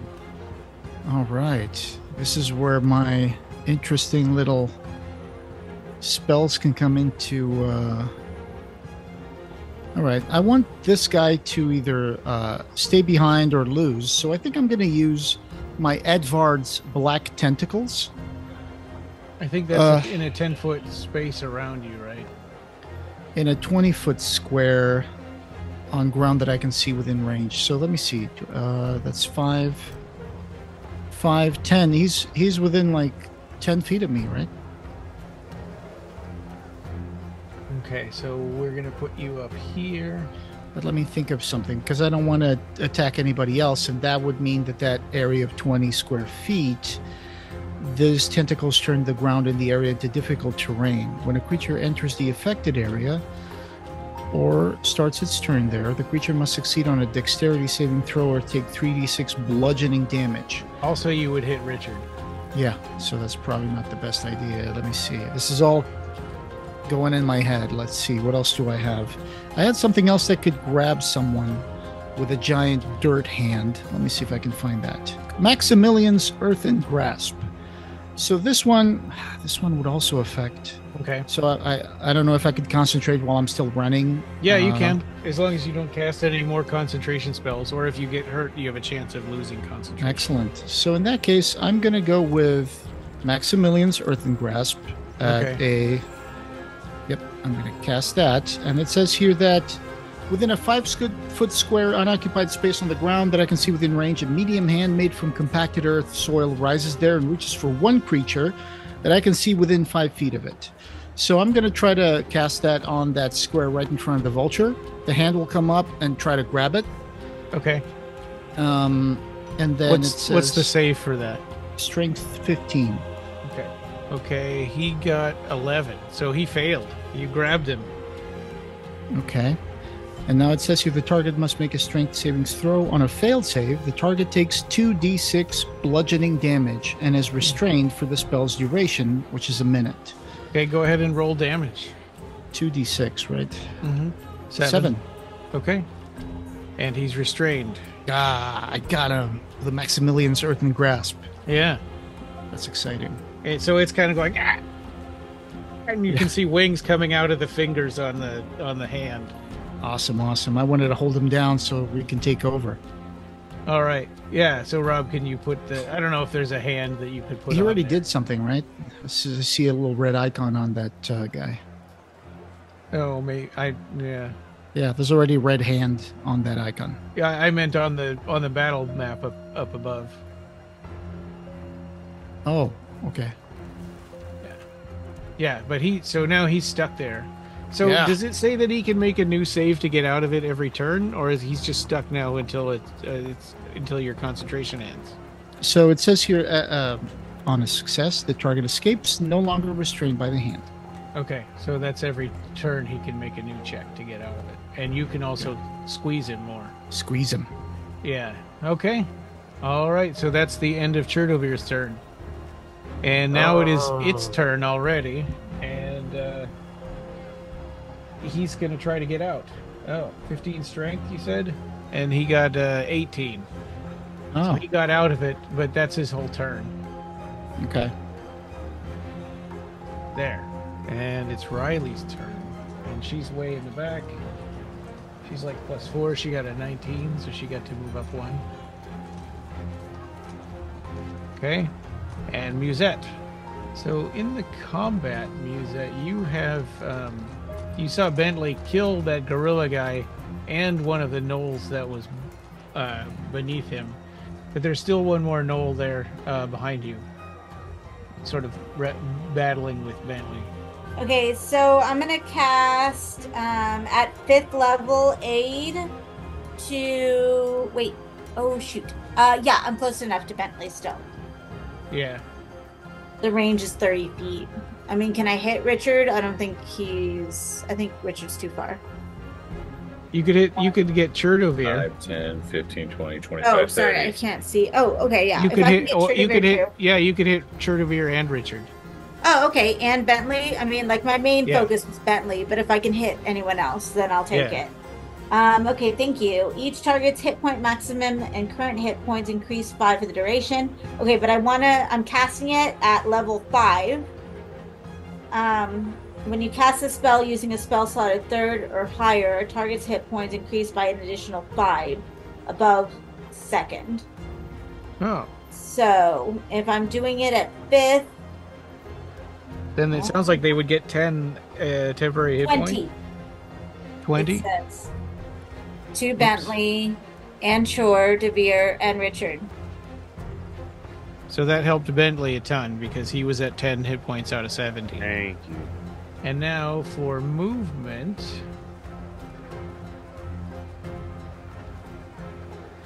Yeah, I would like to just keep running. Okay. Uh, here we go. Um, once again, athletics, right? Yeah, you're running. You're. It's athletics against that gnoll that's in front of you. Not great. Um, eleven total. Okay. Whoa, you got a natural one, so that's three. So you you still pulled ahead, one space. Oops. I will take it. Okay. So now it's the Gnolls' turns. We'll start with the one that's above Bentley. It's gonna attack him. Yeah, and this Gnoll hit just hit uh, Bentley three times, so I think you might have saved his life. So first he's gonna bite. So that's six. And then he stabs him with a spear. Ten is twenty-three damage to Bentley. Yeah, that did save his life because he had ten hit points when when he started. That's and then the Gnoll's gonna try to make an athletics check against Bentley to get her to get ahead of him. Bentley's 24 and natural one for that guy, so he did not. So Bentley's gonna go up one to on top of the dead guy.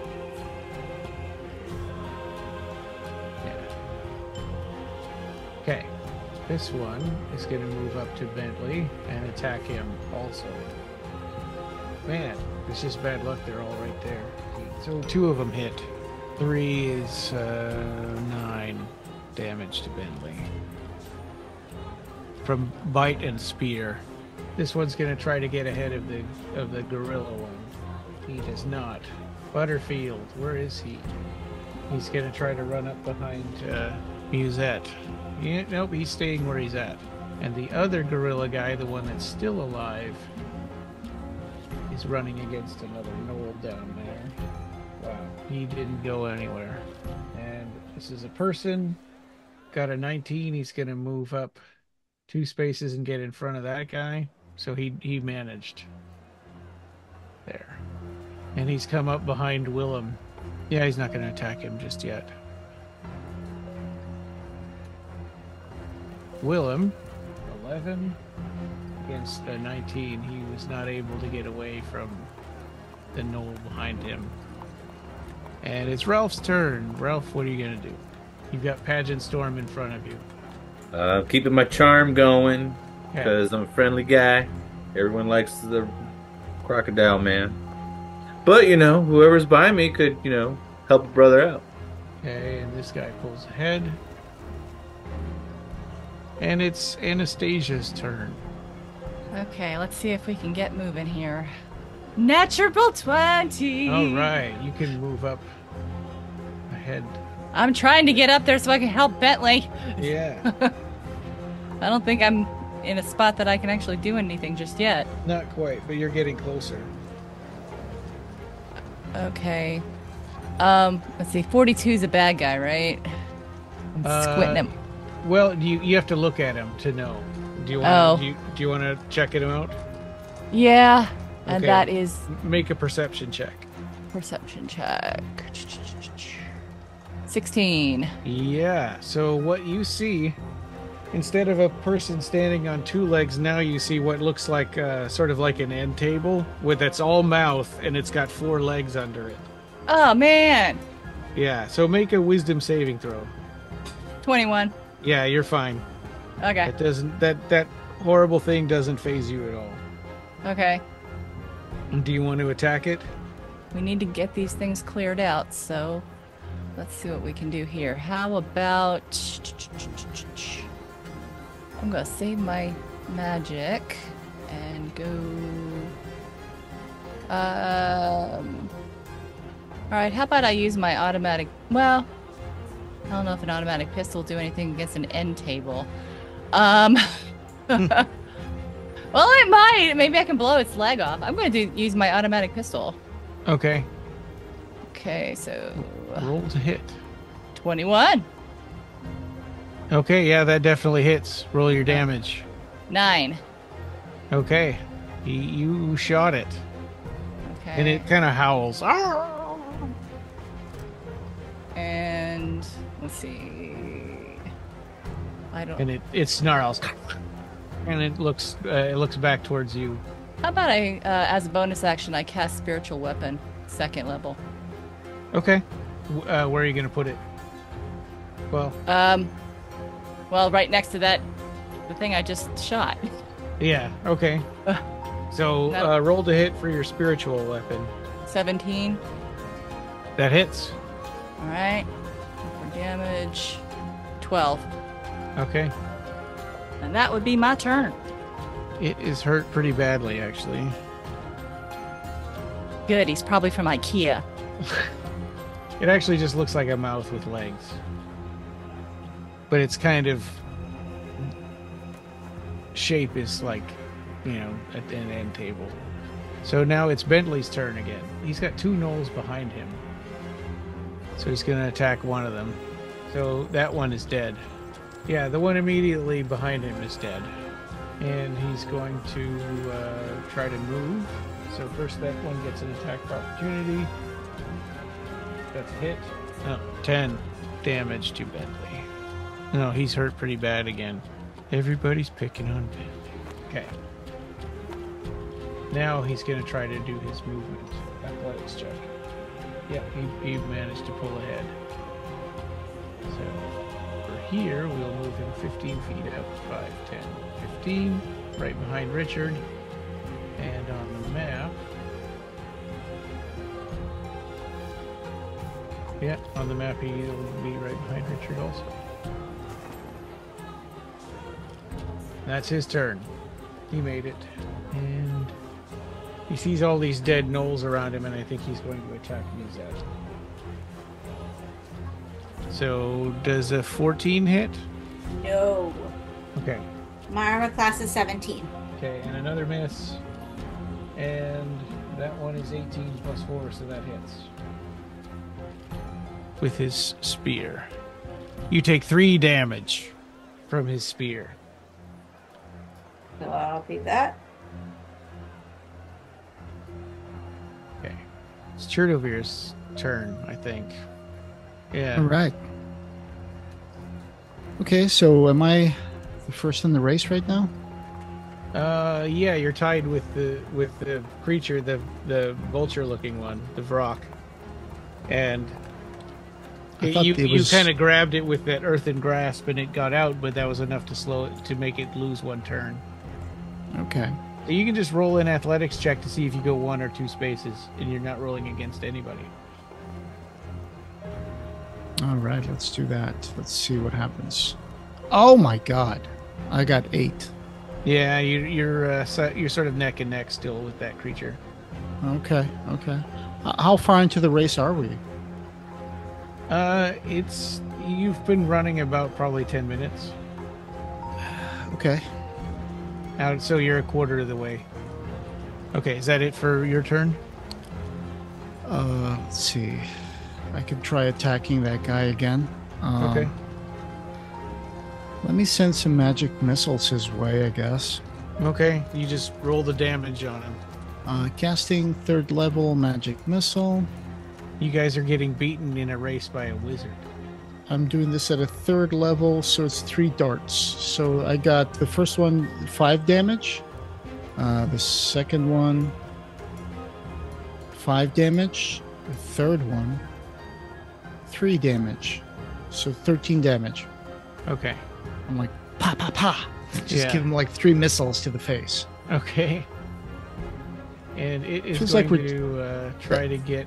It's nobody better, a- nobody better come talk to us after the race saying, "Oh, you cheated." I'm just It's going to roll again. It's going to do an athletics check against Richard to kind of move away from Richard and up towards Churdovir. Nine plus three is uh, eleven. So Churdovir will make a roll an athletics check.